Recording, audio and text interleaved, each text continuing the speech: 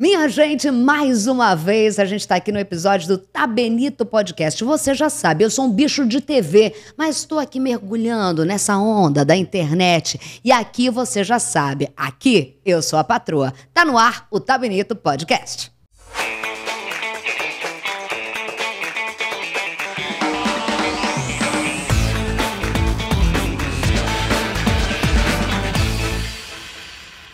Desde que eu criei o Tabenito Podcast, ele está na minha lista do top 5. Eu não sei qual é o número do episódio de hoje, mas eu vou perdoar a produção ou até mesmo a agenda dele, porque ele disse que nunca foi num podcast na vida. Com vocês, José Júnior. Bom, que obrigado honra. Primeira já, vez, nunca fiz, nunca participei de nenhum. você já recebeu vários Sim, convites. já. E por que eu, eu tenho que perguntar por que que eu sou, Você né? pode perguntar para quem me Ah. procurou, que me fez o convite. Na hora eu aceitei e falou assim: você pode vir na quarta ou na quinta. Eu falei: vamos na quarta. Maravilhoso, eu agradeço E demais. admiro também bastante. Acho que você é uma super referência, né? Então, assim, você até falou uma inverdade. Se você eu sou um bicho da TV, você agora é um bicho da rádio também. Ah, também, da rádio, bicho de rádio E tá também. bombando, né? Pelo que eu soube aí, tá bombando. São dois programas de rádio e eu não tô aqui, eu, eu fico inventando coisas ainda. Aliás, por inventar coisas, é difícil fazer um currículo de José Júnior. É difícil definir uma personalidade. Quem é José Júnior hoje? Pô, essa pergunta é difícil, mas. É, assim. Eu acho que eu sou a mesma pessoa, porém. é, as pessoas me conheceram à frente do Grupo Cultural AfroReg, que é uma ONG, Hum.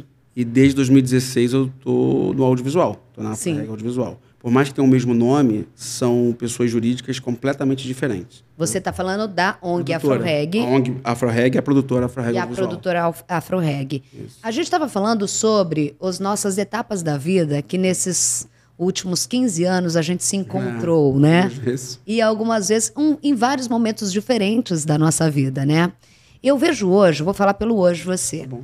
Eu vejo hoje você um dos caras mais ecléticos, muito carioca, mas um cara preocupado com o nacional. Esse José Júnior audiovisual nasceu quando? É, em 2008, Hum. eu fui procurado por um produtor de cinema chamado Sim. Augusto Cazé. E ele me falou assim que ele queria fazer um pitching no Multishow de um projeto chamado Multicidadão. Sim. Aí me explicou o que que ele queria fazer. Eu falei, cara, isso não tem interesse. É, eu queria fazer um programa com o nome de Conexões Urbanas, que eu já fazia um circuito de shows em favela, junto com a Prefeitura do Rio na época, com a Ana Maria Maia, que a gente pegava o Caetano Veloso, Gilberto Gil, Rapa, todo mundo que fazia sucesso, botava na favela fazer um show de graça. Como você conseguia fazer isso? A Prefeitura patrocinava e eu mediava até hoje, de vez em quando tem que fazer umas coisinhas que eu fazia antes. né? Você é o maior network lobista. Qual o adjetivo Lobista, não bom? sei se eu sou não, mas... Porque lobista tem um nome ruim quando Não, mas eu acho isso um não, é porque o lobista. bom. Porque se eu explicasse, Ah, o lobista. o network, ele então. ganha dinheiro. Não, você. Não, deixa eu você explicar. Naque... Não, não, não, você tá falando daquela época. Ah, Então, por exemplo, eu já mediei para ter obras do governo do estado, da prefeitura do Rio de Janeiro em favela e nunca ganhei nada. mediou o quê? Para poder fazer a obra, você sabe? Pra como- entrar. sabe Sei como, como, é que funciona. Então, assim, e eu nunca ganhei um centavo fazendo isso. Né? Eu já mediei muita coisa que eu não ganhei nada. Então, lobista não era, porque eu não ganhava. Verdade, a gente está falando daquela É. época. Só para quem não é do Rio de Janeiro, a gente aqui não tem essa, irmão. A gente conhece a favela. E o José Júnior conhece a favela muito antes ainda. A gente é período antes do PP, tudo mais. A Afroreg tem adianta- 31 anos, né? 31 Afroreg, anos. Grupo Cultural Afroreg. O seu nome é José Pereira de Oliveira Júnior. Isso. José Júnior é uma marca. Virou uma marca. Virou? Virou. Você que tá dizendo. Gente, alguém quando fala José Júnior, é a mesma coisa de falar Angélica. É a, Ah, coisa. é? a pessoa fala e lembra de você. Tem outro José Júnior na vida, eu já conheci outros. Mas se falar, ah, você viu? Eu vi o José Júnior hoje. É você. E eu acho que isso é marca. Sim. Eu entendo que também. Demorei para entender que meu nome virou uma marca. Agora, a gente, eu estava lendo aqui, a vida não foi tão boa assim. Com esse casaco diferentão, com essa unha pintada Não de foi ou foi? Não foi. Começou difícil. Ah, sim. Você nasce onde nesse Rio de Janeiro? Então, eu nasci em Ramos. Hum. É, eu tenho 55 anos, né? Eu sou de É impressionante 1968. É. E ao, mas assim, Em 1978, quando eu fiz 10 anos, a minha mãe se separou do meu pai. Uhum. E eu vim morar no centro do Rio. Aqui no centro. É, só que o centro do Rio, de 1978, não é o centro de 2024. Hum. Né? Eu fui morar num lugar que tinha muita prostituição masculina, feminina e de transexuais. Eu fui morar num lugar que tinha muita jogatina, cassino clandestino. Eu morei na Rua do Senado, esquina com a Mendes Sá. E era um prédio, 12 apartamentos por andar, pequeno. Minha mãe lutou muito por mim, pelas minhas irmãs. E eu convivi né, com a cultura marginal na sua essência e, ao mesmo tempo, eu, assim, né, eu cresci num ambiente que tinha... E a marginalidade não confundia com criminalidade. Submundo não se confunde com criminalidade. É, e eu cresci num ambiente que tinha uma cultura marginal riquíssima, nos aspectos positivos e negativos, musical também, né, comportamento.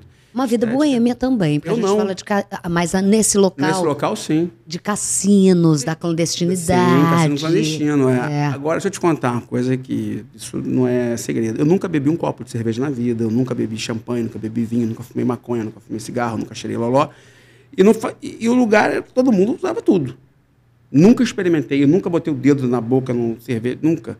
Porque meu pai bebia muito e minha mãe fumava muito cigarro. Então, assim, eu tinha muitos exemplos negativos. Meu, eu tinha um cunhado que era o meu ídolo. E, e ele, ele injetava cocaína na veia, tomava pico. Naquela época as pessoas usavam pico, né? Sim. E eu que pegava droga para ele com 10 anos de idade, no Meu mundo da Deus. Previdência. Então, assim, é, tudo de ruim que eu via, muitas pessoas, a tendência é a pessoa fazer também. Eu não. Por quê? Eu, assim, Isabela, assim, eu tenho uma, um chamamento espiritual muito forte. Sim, eu sei. Quando você falou eclético, esse eclético maior não é o, o- as conexões que eu tenho é, no mundo material, é no mundo espiritual. Né? Então, assim, é, eu, eu, eu, eu, eu, sou um privilegiado porque a primeira vez que eu quase morri eu tinha 14 anos, depois 16, depois 18, e depois com a Afro-Reg, porque eu medi guerra, essas confusões todas. Então, assim, esse chamamento espiritual sempre foi muito presente na minha vida. E eu acho que é, nunca permitiu que eu fizesse, cara, coisas, certas coisas que eu considero até hoje erradas, entendeu? É como se fosse um toma lá da cá. Eu fico vivo e prometo não fazer Eu o não que eu prome- conheço. Eu nunca senti. Então, se- isso seria lindo se eu sentisse vontade de fazer. Nunca sentiu. Eu nunca senti vontade de beber, de, de usar droga, de fumar cigarro. Eu não. Você tem uma noção? Eu não devo ir numa boate há mais de 30 anos. E não sinto falta. Eu, eu sou uma pessoa. Eu sou canceriano, sou canceriano com ascendente sagitário com lua e libra. Meu Deus! Sou muito família. Você é um chorão, família, caseiro. Eu sou muito hum, caseiro. desapegado e libriano. Desapegado com umas coisas e apegado a outras. né? Depende, Por ah. exemplo, eu tenho seis filhos. Seis. Seis. É, cinco com a mesma mulher, Hum. um com uma outra. Eu, assim, eu tenho uma coisa... hum, hum, Assim, os meus filhos mais novos, eu sou muito agarrado. Muito agarrado, mas muito mesmo. Hum. Quantos anos tem mais velho? Quantos anos mais a mais novo? velha tem 23, a mais nova tem 10. São três meninas e três meninos. Você passou as últimas décadas só fazendo filho. teve, um, teve, um- teve um lapso Hum. é, é, entre um- uma, uma filha de 20 e um filho de 15. Ah. 5 anos, assim. Depois você saiu, tá, tá, tá, tá, tá. É, assim, rolou e, e- e, assim, eu, eu, eu amo muito meus filhos, eu, eu amo muito a minha mãe, né? Então, assim, eu amo muito a minha noiva também. É então, o assim, canceriano falando alto aí. Agora, o sagitariano é aquele que consegue permear desde cedo nesse submundo que muita criança, adulto, barbado teria medo, que é o submundo e o crime no Rio de Janeiro. A gente está falando das favelas, a gente está falando das comunidades. Antes do Afroreg, o que, que você já foi? Antes do Afroreg, eu fui entregador de jornal, Hum, tanto a pé quanto de moto. no centro. É, Hum. no centro e também em Vila Isabel, Tijuca. No moto era Vila Isabel, Tijuca, Maracanã, Andaraí, Grajaú. Meu roteiro. Eu entreguei Globo, entreguei Folha de São Paulo. Ah. São Paulo de moto. É, eu fui copeiro de um buffet, não cheguei a ser garçom. Cheguei a faxineiro de uma loja, é, fui Batman durante dois anos. Onde você viu Batman? De 89 a 91 no Rio de Janeiro. Era eu que fazia, 89 a 91. Você não era nascida. Era assim. Pera aí, o Batman, tipo, Batman. festa de aniversário? Tinha um empresário, Ah. que era o mesmo que fazia o Papai Noel do Maracanã, ele se vestia de Papai Noel. Ele tinha Ah, um- você era o Batman oficial. Eu era o Batman, assim, onde tinha. Desde inaugura, de reinauguração de todas as casas da banha, que tinha supermercado Casa da Banha, que ele fazia todo dia, a festas infantis, a eventos, ao Maracanã, né? Quando tinha o Papai Noel. Eu fiz muita. Assim, era todo dia, era de segunda a segunda. Quem era teu hobby? Não tinha Robin, tinha Homem-Aranha. Não tinha Robin, não. Primeiro não tinha Robin, não. Mas tinha Homem-Aranha, tinha Mickey, tinha Pluto. Ah. Gente, tinha... é uma carreta furacão. Você nasceu com a carreta furacão, então. E- e isso foi de 89 a 91. Aí eu- 89 a 91. É, fiz muitas festas de funk, não baile funk. Eu Ah. até queria fazer baile, mas eu não tinha essa capacidade. E, e aí, assim, fui, aí fui taxista, foi, digamos assim, foi a profissão que eu mais ganhei dinheiro na vida antes de Afro Reg. né? Assim, eu cheguei a ganhar um salário mínimo por dia. Isso com vi, porque meu pai era dono do táxi, ainda pagava metade para ele. Eu trabalhei no táxi de 91, só também trabalhei um ano, um ano e pouco, 92 e pouco, assim. Depois meu pai, porque eu pegava, na época, tinha muito assassinato de motor de táxi. É, é Meu assim, pai tinha medo. de trabalhar à noite. Não, não. Não, ele não queria que eu trabalhasse. Meu pai já não Ah, trabalhava tá. mais. Então é o seguinte, eu tinha que pegar o carro dele seis da manhã e devolver às seis da tarde. Ele morava em Bom Sucesso, eu já morava aqui no centro. Ele não, ele não confiava em deixar o carro comigo, porque ele achava que eu ia trabalhar. E eu ia mesmo. Então, assim, imagina, eu era- eu estava com 22, 21, 22 anos. Então, eu tinha uma disposição enorme. Eu fazia um salário... Porque, assim, um salário mínimo por dia hoje é uma grana. Tu Meu imagina Deus. em 91, 92. né? Nossa. E um garoto. E pra quem entregava jornal e era Batman, Mas quando eu entregava jornal, eu ganhava, no caso da Folha de São Paulo, era de 10 a 12 salários mínimos. Não era, para minha época também não era pouco, não. meu Eu Deus, não era. trabalhava de, tre- de 4 da manhã até 5 e meia. Era uma hora e meia por dia. Só que era de segunda a segunda também. Sábado, domingo, Natal, Carnaval, carna... é tudo. Tudo, a imprensa, né? Você já estava ali permeando com a imprensa. Não, e quando eu crio a Afro eu começo com o jornal, né? Por isso que eu quero saber, da onde que vira essa história? Porque o seu talento nato para se relacionar com todos os tipos de pessoas, a gente já sabe e você já deu a dica que você acha que é da sua espiritualidade. Mas da onde vem essa história? Quero criar o Afroreg. O que, que é o Afroreg? Como nasceu? Como pensou? Você lembra o start da história? Claro. Então, antes deixa eu te contar uma coisa que também que quase, isso quase ninguém sabe. Eu já fiquei detido, preso em todas as delegacias de Copacabana, Tijuca. Todas. Fiquei, eu conheci a carceragem. Não porque eu roubei, não porque eu trafiquei, porque eu brigava muito na rua. Eu sou de uma geração, talvez a última geração que brigava na rua. Sou da primeira, eu, sou, eu, eu sou da primeira geração de baile funk Ah, né? É, que você não sabia os nomes das músicas. Né? Então, você, como a gente não sabia nome de música, por exemplo, tinha uma música que falava uma expressão em inglês. A gente falava, ah, melô do fantasma, melô do tomate, melô disso, melô daquilo. Sou assim, tipo... lá atrásão. Lá atrás mesmo. E já tinha essa coisa de porrada, já tinha essa coisa de, de você querer ter autoestima. através Lado da- A, da lado B? Eu sou, eu sou antes. Sou Antes do lado A, lado B? bem antes. Então, assim, então, e, e eu ia muito para baile, tipo, ir no Bom Sucesso. Porque, como eu sou de Ramos, Ah. meu pai namorava em Bom Sucesso, eu ia pro baile do Bom Sucesso, eu ia pro Paranhos, eu ia é, pro Magnate, eu ia pro Mackenzie, CCIP de Pilares, que eram lugares que já tinha muita pancadaria, né? Ah. Mas não era, não era ainda o que, o, que, o, que, o, que, vir- o que era a geração dos anos 90, isso é a geração anos 80. É, nós não estamos É falando ainda de lado A, lado B, Não, nada de não, Claudinho geração- Bochecha, nada de não, ninguém não, não. disso. Isso Não, é- é, não se tocava música em português. Era só meio. inglês, é. Cashbox, Furacão 2000, A Cova, Ah. é, Tropicália, era, sabe assim... E vocês sabiam falar inglês? Não. Então, por exemplo, a música falava You Touch Much. A gente falava Melô do Tomate. Aí a música tinha, uh, não sei o quê, melô do fantasma. Ah, não sei o quê. Então, assim, tinha, um- tinha um latido, melô do cachorro, porque não se sabia falar inglês. E nem os próprios. é, você tinha os radialistas, né? Você tinha os programas de televisão, e eles não falavam os nomes também, porque tinha uma concorrência de. Um DJ que tinha um disco vinil, e eram discos importados, eles não falavam o nome por outra equipe de som não saber. Aí vinha o nome das melôs. Ah, daí nascem as melôs. e por porque- que a história da briga? Então, então tinha uma coisa, né, de, de galera, de pichação também, já tinha coisa da pichação. Gangue, na época era gangue, mas não era gangue que é considerado hoje. Então, assim, tinha uma coisa de galera Você acabava brigando, eu. Você me chamou de estiloso, disso, daquilo, mas na época era um pouquinho feio, né? Então, assim. Não, mas você é mega estiloso. Não, então, mas na você tá época era feio, unha me vesti- azul. me vestia mal Ah. e etc. Então, assim, a forma que tinha a coisa da autoestima era baile funk, briga, confusão, coisa e tal. Isso quantos anos? Ah, eu tinha. Eu cheguei a me envolver com essas confusões entre 14 e 18 anos. Meu Deus, a testosterona aqui, ó, nascendo. De- digo assim, de- eu já ia em baile antes. Ah. Mas, mas, assim, essa coisa, porque, por exemplo, às vezes a gente estava. tinha muito preconceito também. Às vezes eu já, eu já fui, eu já fiquei em, em carceragem porque eu tinha um cabelo enrolado grande. Ah. Então, assim, a polícia. Se a polícia hoje é chamada de racista, de preconceituosa naquela época, então ainda tinha, ainda, ainda era um período da ditadura. Ah. Né?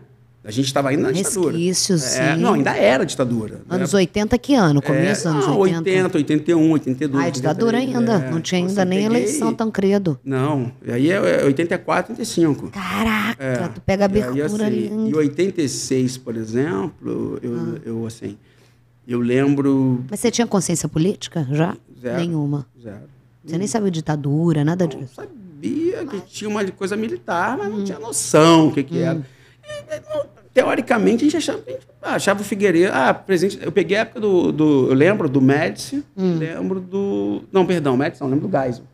Do Geisel Final da década de e 70. lembro do Figueiredo. Porra, é, assim, o Figueiredo era um cara que tinha uma. Tinha uma era uma figura, é, assim, era aparente desses militares todos, digamos que era o. Era o tô falando com a visão do passado, né? Ah, que era um presidente, tinha até música, Figueiredo, Figueiredo, eu lembro disso, Figueiredo, Figueiredo. O pessoal dançava. Também o povo tava. Não. Também ele já tava quase batendo a porta da saída, graças a Deus, né? Aí você vem com toda essa consciência, tira porrada de bomba, vai, briga, tal. Eu quero saber de onde nasce o Afro Reggae. Então, aí, em 1992, tem um Ah. eu fazia festa de funk. Em 1992, teve o arrastão da praia do Arpoador. Sim. Que inclusive tem muito a ver com a minha história no Afro Reggae, eu não sabia na época, mas era o pessoal de Vigário Geral e Pará de Lucas, que eu nunca tinha ido naquele, num dos dois lugares. Gente, eu achei que você conhecia Não. todas as favelas. Não, não, não, nessa época não. Não? Nessa época eu conhecia o Morro da Mineira, Morro de São Carlos, Morro da Província, onde eu morava ali. Centro e Ramos, onde tinha. Não, mas essa favela de Ramos eu não frequentava. Favela de Ramos, não. Não, eu frequentava as fave- assim, frequentava mais ou menos, favela de Providência, São Carlos, Zinco, Ah. Mineira, Morro da Coroa, ali em Santa Teresa. Pegando um tráfico ainda meio que Mas assistencialista, relação de mas famílias. o tráfico, Mas sabe? eles mandavam já igual. Não. Não mandavam igual a gente viu? Ó, eu morei, então, eu morei no centro, mas eu morei no asfalto. Ah, E aí, é, nessa região que eu morava, era a região que tinha a marginalidade, não, como eu falei, marginalidade, jogatina, jogo do bicho muito presente. o submundo mesmo, aquela coisa. É, é, muita prostituição. E assim, e a relação que a gente tinha com a prostituição é de muito respeito, porque muitas eram mães de meus amigos e a gente tinha muito respeito. Não, tinha, não, não olhava assim, ah, essa mulher. Não, mu- e, e te digo mesmo, muitas confusões que eu me meti, eu fui salvo por elas. Matriarcas. Sim. Muito respeito e, e, tipo assim, cara, por exemplo, a minha mãe não era prostituta, mas quem era filho de, de prostituta, eu não, a gente não podia mandar nem a puta que pariu, eu chamar de filho da puta. Caraca. Eu poderia ser chamado de filho da puta, que minha mãe não era. Ah. Tinha- cara, era, era todo um, um- um respeito muito Todo um grande. protocolo. Ah. Aprendi muito, assim, nessa questão de hierarquia, de respeito. Muitas delas eram casadas com policiais, que era uma outra coisa que era muito doida, né? Assim, caramba, mulher Casada policial e prostituta. prostituta. E, e, e, e, assim, e ao mesmo tempo, acho que eu convivi, né, que eram mães de amigos, ou mesmo na rua, que eu estava na rua, trabalhando na rua, assim, cara, se conversa, não se falava de, de sexo, se falava de qualquer coisa, assim, e muito carinho, muito respeito. Às vezes elas pagavam, porque a gente era tudo garoto, pagava lanche pra gente, sem interesse, não tinha assim, ah, não, tá pagando, quer que algum. Não queria nada em troca. Nada. Não tinha sexualização nessa, nessa relação. Não. Zé, eu tenho muita curiosidade sobre a sua história. Ah, então. Porque você é um cara muito, muito permeando e lembrando, imaginando você diante desse mundo, num centro de Rio de Janeiro, completamente diferente. É, o garoto que buscava a cocaína pro cunhado que ele tinha como herói. Sim. Nunca usar nada, nunca ter tido nada e visto tudo. E, e daí vem os arrastões que você falou de 92. Aí tem um arrastão, eu tinha vendido uma festa, eu, tinha, eu tava fazendo uma festa Ah. de funk, e aí eu tive que. Aí o, na época o governador era o Leonel Brizola, e aí há uma proibição de bailes funk na, nos clubes, porque não existia baile funk em favela, baile funk era no nos clubes. Sim. Quando vem essa proibição, o, simplesmente o governo joga obriga a ter baile. É pra favela. E aí eu lembro que eu já tinha vendido os ingressos na minha festa, e aí eu não. Como é que eu faço? Eu vendi os ingressos, aí toquei reggae, que eu nem gostava. E aí todo mundo, a festa lotada, todo mundo. Todo mundo queria funk. Todo mundo puto, né? Ah. Mas não podia, era proibido. E aí eu me interessei pelo, pelo reggae, e aí uma pessoa que eu conheci, que era o Plácido Pascoal, ele me apresentou, porra, eu não conhecia nada de Bob Marley, Peter Tosh, Bunny Wailer, nada. Me, me mostrou assim. E aí o que dá virada na minha vida é quando ele me apresenta o Olodum. As músicas, né? Ah. Aí quando eu ouço Faraó e Revolta do Olodum, a minha cabeça vira, ué, Cleópatra, Que é um- uma coisa linda. Cleópatra era preta? Ah. Eu vi Elizabeth Taylor, branca de olho azul. Aí, aí eu começo a ganhar a tal da consciência. Ah. Com o Olodum, ouvindo os LPs, era vinil, não era nem CD, do Olodum. Né? Aí estamos falando de quê? De 1992. Nós estamos falando do começo, onde vem o axé, onde vem a lambada tá no auge com o caoma, onde a Bahia começa a aparecer pra gente. Mas para mim, eu curtia o Olodum. Sim. que eram aquelas músicas antropológicas, históricas, coisas e tal. E aí tem uma virada na minha cabeça também, né? Nessa, um pouco antes também, eu, te- eu passo a ter uma conexão muito forte com uma divindade hindu chamado Shiva, Ah. que é o deus da destruição e da transformação. É o deus do quê? Da, é o deus da, da transformação e da destruição, só que a gente não pode entender a destruição pelo olhar ocidentalizado, Hum. orientalizado, que é a transmutação, né? Tem Que é mudança, alquimia, transformar. Exatamente. Que é alquimia. Então, assim, ali também me conectei muito com essa divindade. Eu já tinha uma relação forte também com o Senhora de Fátima, com o Arcanjo Miguel, com Ogum, com Xangô. Sempre tive esse lado eclético. desde- Secretista total. total, Desde novo. E aí, quando tem essa proibição, faço essa festa de reggae, eu falei, só de sacanagem fazer agora uma festa oficial de reggae. Aí eu crio a primeira rasta Reggae Dance, em outubro de 1992. E aí, na sequência, eu e um grupo de pessoas criamos o jornal Afro Reggae Notícias. O jornal sai no dia 21 de janeiro de 1993. E aí vem a história do Afro Reggae, que começa com o jornal. Hum. né? E, e tinha uma pessoa que não era jornalista, mas ele, ele trabalhava, com, ele era fotógrafo, então o cara tinha uma, uma noção de jornal. Um jornal simples, né? Só que esse cara, ele vai morar em Marabá, no Pará, e todo mundo, eu era o mais novo do grupo, todo mundo era muito ocupado, sobrou para mim, e eu tive, falei, vou botar esse jornal para andar. Como é que eu conseguia dinheiro para o jornal? Fazendo o que eu fazia, fazer festa. Eu fazia festa e arrecadava dinheiro com essas festas para podermos produzir o jornal. e Quem que era o público desse jornal? O público que curtia reggae, curtia o axé. Ah. Aí depois a gente começou a botar um pouco do rap, entendeu? Não do funk. É, mesmo sendo original de baile funk, eu não trabalhava, assim, naquele momento da minha vida, não tinha funk. E onde você produzia isso? Quem produzia conteúdo? O que, que se colocava? O que, que se falava? Você começou a ter essa consciência de lugar de fala e de, e de consciência negra a partir daí e dessa exclusão, é, escrevendo esse jornal, ajudando a fornecer esse jornal? Eu e um grupo de pessoas, algumas, assim, é, por exemplo, tem uma pessoa que me ajudou muito, que depois fundou o Rapa, foi o Marcelo Iuca. Marcelo Iuca. E o cara faz- era voluntário no jornal, a Mônica Cavalcante também, que depois foi para Sony Mico. Mas, assim, muitas pessoas... é, Mas o Iuca já era o Iuca? Não. Não? Ele era o Yuka do KMD, tinha saído do KMD5, que era uma banda Meu Baixada Deus. Fluminense. Quem produziu o primeiro show do Rapa, que o nome era Conexão Xangô, fui eu. Foi você. É. Já Aí depois era. Conexão Xangô. Não, mas só que ninguém foi no show, né? Era vazio.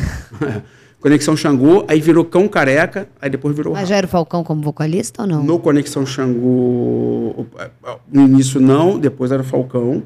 Eu conheci o Falcão, Ah, um cabelo igual o meu, raspado, usando calça de tergal e camisa por dentro da calça. não, mentira. Você não tem foto disso? Eu acho que eu tenho. E ele tinha uma, ele trabalhava num laboratório, tinha, dirigia uma Fiorino. Meu Deus! Era. Nessa época, o Rapa, né? Era, era os líderes do Rapa eram era o Marcelo Yuca e o Nelson Meirelles. Lembrando que o Marcelo Iuca tem toda uma história difícil depois, né? Sofrida depois. Marcelo Iuca sofre um assalto. Na verdade, ele não. Não, ele não. Ele, ele reage a uma. Ele vê uma pessoa, uma mulher sendo assaltada, assaltada, ele joga vai- o carro em cima. Exatamente. Depois ele fica numa cadeira de rodas e depois, infelizmente, ele faleceu. E não tem muito tempo isso. Esse é o Marcelo Iuca, mas vale você pesquisar aí. Agora, você falou lá atrás, minha cabeça não esquece, dos arrastões. Que, que eu ainda não liguei o arrastão. Então, o arrastão na Praia do Arpoador É. foi o encontro de galeras de Vigário Geral e Praia de Lucas, que já eram, ah, eram favelas inimigas, mas eram, era uma galera, os moradores. E aí, por causa, foi denominado pela imprensa como um arrastão ligado a. O, Leo- o- o governador Leonel de Moura Brizola proíbe os bailes funks, porque Por causa aqueles lá. funkeiros geram violência. Aquela imagem de todo mundo levando aquilo na praia do arpoador. Isso. E aí o que acontece? Os bailes funk são proibidos nos clubes, porque baile funk era em clube, não E era aí em vai favela. pra favela. Vai pra favela. Aí e eu sou reggae. impactado porque Pelo eu reggae. fazia festa Agora eu de funk e o funk ficando proibido. Eu já tinha vendido os ingressos, toquei reggae. Todo mundo, porra, peraí, eu paguei, mas só que se eu tocasse, o equipamento era apreendido. Ah, agora eu entendi. E aí nasce o Afro Reg. E daí, de Aí quando? depois a gente faz uma outra festa de reggae, Ah. chamada Primeira Rasta Reggae Dance. Desta festa, a gente cria um jornal chamado Afro Reggae em 93, janeiro de 93. E desde quando um Afro Reg, que é um jornal, como se fosse um Voz das Comunidades, que foi criado depois, é o Voz das Comunidades tem um pai, gente. É o Afro Reg News. Era Afro Reggae Notícias. Era Afro Reg Notícias, já que né, a gente não estava falando de um povo que não sabia, não, não tinha nem noção desse inglês ainda, era muito Sim. acessibilidade absurda, né? E aí, quando que entra o lado social de ser a ponte? Porque você é a ponte, na minha cabeça, mais forte que eu conheço entre, nas últimas décadas, as comunidades, as favelas e o asfalto. Então, aí em 93, né, a gente, com o, jo- o jornal estava com uma tiragem na época de 10 mil exemplares, a gente rodava na gráfica do Sindesprev, que é o Sindicato de Previdência Social, Hum, que fica ainda, acho que na Joaquim Silva. hum. Pelo ficava lá, aí na Lapa. E a sede do Afro Reggae ainda? Não Já tinha. não tinha nenhuma. Não, Ah. no sede do Afroreg, a gente usava o espaço da CEA, do CEAP, que era o Centro de Articulação População Marginalizada. A gente era duro, não tinha dinheiro, não tinha nada. Eu era- tô tentando entender como vocês faziam esse jornal. Então, a gente fazia que eu fazia as festas, tinha uns anunciantezinhos também, e o Sindesprev ajudava. E ali já Me tinha um cobrava. empreendedorzinho nascendo. Tinha uma galera, não era só eu, não. Eu, eu acabei virando líder, mas eu não era o líder antes. Ah. E aí é, a coisa foi, foi, foi fluindo. E aí teve, tinha um- uma pessoa que já faleceu, que era o Delay de Acari, que eu queria no CEAP. É, na época o CEAP era do Ivanir dos Santos, Babala, na época ele não era Babalaô. Ele não era Babalô, Ivanir dos Santos. Um beijo, amo. É. Só que já era, era a maior ONG do movimento negro do Brasil. Tipo, Daniele Mitterrand, que era presidente, é, esposa do, do, do, do Mitterrand, que era presidente da França, frequentava o CEAP. Quando Não. fechava a Lapa inteira. É, o Ivanir foi, talvez, assim, maior, um dos maiores empreendedores sociais do Brasil. As pessoas não têm noção Não do tem, Ivanir, do tem. tamanho dele. Não, não tem. Ele, porra, a história dele é incrível. E aí ele me cedeu espaço lá, e aí frequentava todo mundo, né? Quando teve a chacina, vou, até falar como eu cheguei em Vigário Geral, porque eu fui por causa do CEAP, mas antes de falar disso, é o seguinte, aí o Delay, que era um, um ativista social de Acari, pegava, ia no CEAP, pegava os jornais. E aí ele levava para Acari, distribuía, só que ele falava, ó, vocês têm uma semana para ler. E pegava de volta, e mandava outros, e botava em outras pessoas.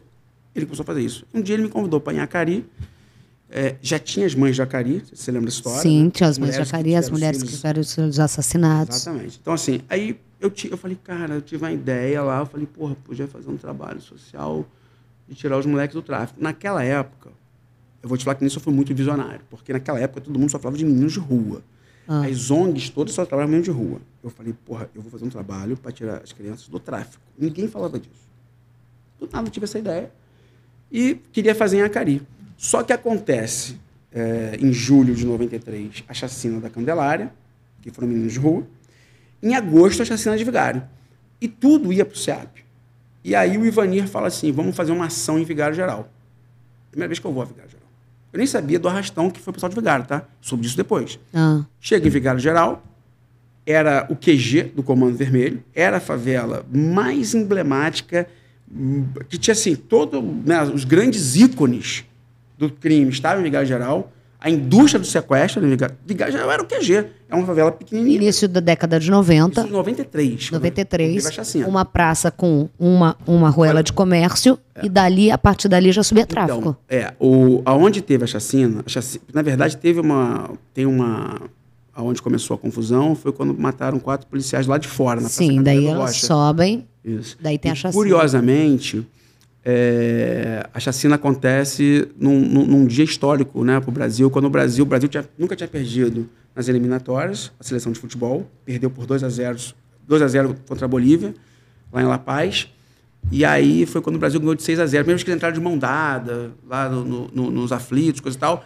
Então estava todo mundo comemorando. Aí os, teve né, policiais militares, os cavalos corredores foram lá Sim. e mataram 21 pessoas inocentes. Não eram 21 bandidos. E dentro de casa, aquelas cenas horrorosas, Oito corpos pessoas arrastados. da mesma família. Oito mes- pessoas da mesma família. É, e família, inclusive essa família era uma família evangélica.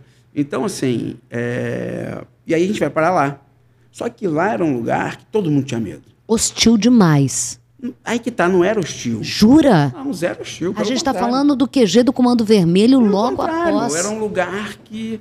Tanto é que eu era de fora e fui muito bem recebido. Quem que era a liderança naquela época? Flávio Negão, que era um ícone, era o cara mais procurado do Rio de Janeiro. E você entrava e falava com ele normal ou não? Não, não tinha nem contato. Não tinha contato contato. com ele depois, né? Então, assim, Ah.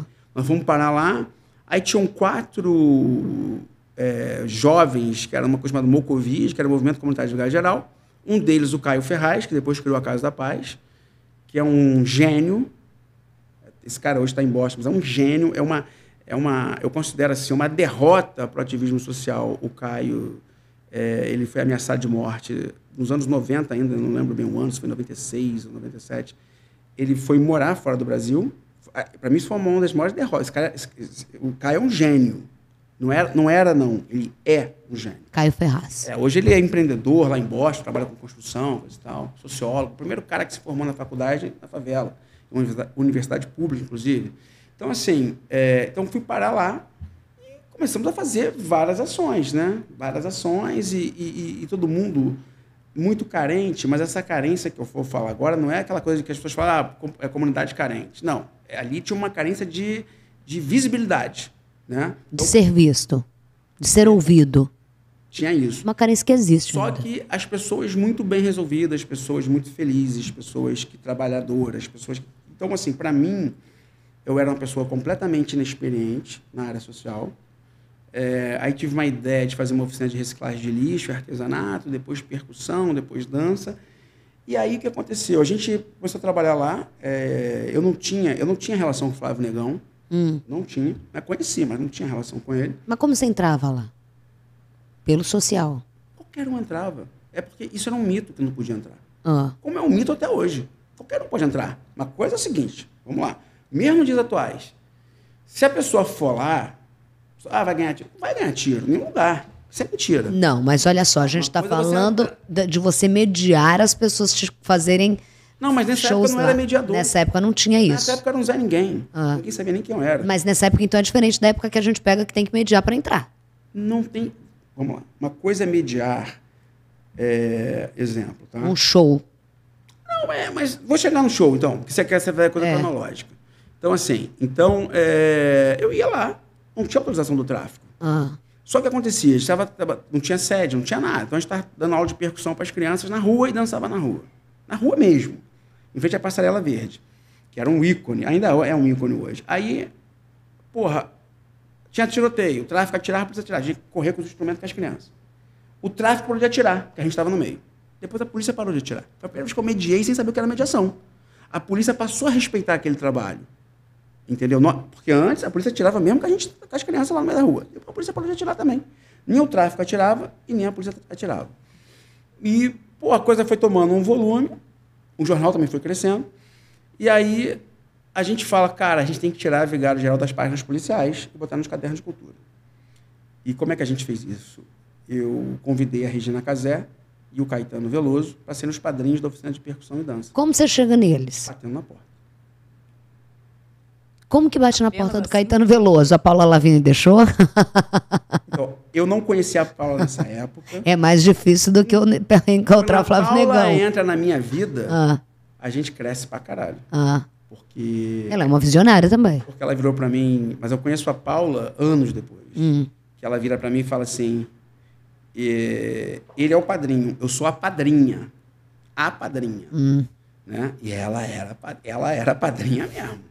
ela quando, quando ela gosta, cara, e ela, Ela abraça. eu só tenho a agradecer, elogiar a Paula. Aí você faz toque, toque, toque, Regina Casé, Caetano Primeiro eu Veloso. fui na Regina. Ah, Porque é o seguinte, é, tinha uma figura chamada. Eu, eu tive dois gurus na minha vida. Um chamado Lorenzo Zanetti, era um padre italiano, um cara que me ensinou a pensar o social. um padre. Isso depois não, é um ex-padre, Ah, que estava numa ONG chamada Fase, e a Cléia Silveira. Eles são os meus gurus na área social. E eu tive um outro guru na área cultural chamado o Ali Salomão, que era um outro gênio. É, a música Vapor Barato foi ele que compôs na Pragal, depois o Rapa regravou. Então era um gênio, era um cara também do tropicalismo, coisa e tal. Esse cara me abraça, os dois me abraçam, só que um me abraça na área social, o outro na área cultural. E o Ali era um escritor. Então, quando tinha alguma. Algum, muitas vezes ele tinha uma, uma. ia lançar um livro. Porra, ia a nata. Todo mundo que você possa imaginar ia. Essa galera, né? Da elite, da elite, da elite cultural. E aí ele virava, às vezes, assim, exemplo, eu lembro ele chegando pro Hermano Viana, ou pra Heloísa Buarque de Holanda, ou pro Gil. Você conhece o Júnior do Afro Reggae? Ninguém conhecia. Não. Como você não conhece? Ele tinha essa... Ele, esse cara é um maior empreendedor social da favela, não sei o quê. Mas eu não saía matéria comigo, não sei nada, mas que eu queria saber, né? E aí ele começou a criar esse, esse, esse, esse ele mito. começou a te mar... Ele foi ter um marketing. Foi primeiro. meu marketing. E aí eu conheci. Aí eu cruzo com a Regina, cruzo com o Caetano no- no- nos eventos do Ali. E aí, cara, eu fui na cara de pau e bati na porta mesmo. É é verdade. Eu bati na porta, descobri telefone, entendeu? Eu entregava jornal na casa dele. Eu que entregava. Eu, eu fazia o jornal e entregava. Eu não era entregador do jornal. Então eu ia entregar. Regina, eu queria fazer uma matéria com você. Porque a Regina tem toda uma história social, cultural, né? E com, e com cultura negra também. E aí eu fiz essa matéria com ela, se não me engano, em 94. É, e aí falei, cara, queria te convidar para ser madrinha do Afro Reggae e o Caetano padrinho. Ela falou, quer que eu fale com ele? Eu falei, não, deixa que eu falo. Mas você pode reforçar, mas eu vou falar. E eu lembro que ele morava na rua João Lira, se não me engano, era 131, na época. Eu fui lá, cara, na cara de pau. E ele topou. Quem atende a porta? Não, eu não lembro, mas não foi ele. Não foi ele. Nem a Paula. Nem eu, não. e ele tava lá e ele falou, ok. Ok. Não, não, não, não, mas, eu, mas eu avisei. Ah, Eu ia, tá. né? Eu consegui o telefone. A- agradeço, meu irmão. Vou. Não, ele, não, na verdade, a- a- ele tinha uma empresária chamada Ivone Salgado. E ela falou assim. Muito conhecida no meio. Ela virou, ela virou pra mim e falou Bem assim. forte, bem rígida. Ah, isso mesmo. Então, ela virou pra mim e falou assim: "Que que você- esse negócio de Caetano, favela, é, me explica o que você quer. Aí eu virei e falei assim, pô, dona Ivone, é pra ele padrinhar, mas o que, que você quer? O que, que você quer? Você quer dinheiro? Alguma coisa? Eu falei, não, eu só quero que ele vá no dia do evento. Só isso? Só. Se a senhora deixar, meu filho, quem sou eu para mandar em Caetano? Ele já falou que vai, eu só quero saber o que, que você quer. Ah. Assim. Mas ela, depois ela ficou muito carinhosa, ela foi muito parceira. Todo mundo foi muito parceiro. E aí fizemos esse batizado. Foi capa do Jornal Dia. Na época, o Jornal Dia. Onde foi o evento? Na favela de Vila Geral. Lá dentro. Uma quadra, é, num campo. E, e aí, na época, o Jornal Dia tinha uma tiragem maior do que Globo, Jornal do Brasil. Nossa. Todos os jornais deram matéria. O Dia foi capa. Ah. Dia foi capa. Porra, você é capa do Dia naquela época. Pô, tô falando de, de 95. Porra, cara. Porra, não deu outra. Fomos parar no programa do Jô Soares, no SBT. Porra, você ir pro Jô... Porque uma coisa, assim, não desmerecendo que eu fiz o Jô quatro vezes e fiz três vezes na Globo. O Jô do SBT não era o Jô da Globo. Não. Era uma outra parada. Era. Né? E era São Paulo, coisa e tal. Cara, a primeira vez que a molecada viajou de avião, foi para São Paulo, coisa e tal. Então, porra, a gente foi parar no Jô, cara. O Afro Reg no Jô É, Soares. em 95. Porra, foi um negócio assim que, cara, vou te falar assim, mudou a vida da gente ali. Ter no Jô. E o Jô muito carinhoso, muito generoso, muito parceiro. E aí você começa a ser essa questão cultural dentro das comunidades com o social. É, e ao mesmo tempo com o discurso de tirar a criança do tráfico. É isso que eu ia voltar. Você isso aí. continuou com isso? discurso e, e assim e aí com muitas pessoas ajudando por exemplo eu brinco com, com, com o mestre Johnny Ventura né que ele foi meu descobridor também porque ele é o cara que é, o primeiro evento que eu fiz em Vigário em 94 foi quando ele decidiu fazer o Cidade Partida não por, meu, por causa do meu evento mas ele estava frequentando lá Vigário coisa e tal então assim Então, Zenir Ventura, Manuel Ribeiro, que era um cara que na época era da Caixa Econômica Federal, um arquiteto. Aí começou, cara, a, a, a ter o Não só pessoas conhecidas, como gente com dinheiro, né? Não, eles não botavam dinheiro, não. Ninguém... Mas gente que tinha um métier de um. De, de um... Não entrou o dinheiro. Ah. O dinheiro entrou por essa ONG chamada Fase. E vou te falar o valor que entrou. Ah. Dois mil reais. Dois mil reais. E é assim que e pra começa. gente era dinheiro pra caralho. Ah. E o jornal, ele, aí eu falava pro Manuel, Manuel, pede pra Caixa botar um anúncio no jornal. Então, um anúncio da Caixa no jornal, que era a página inteira, ah. porra, pagou três edições do jornal. Caraca. É, aí começa nesse sentido, né? Desse network, coisa e tal.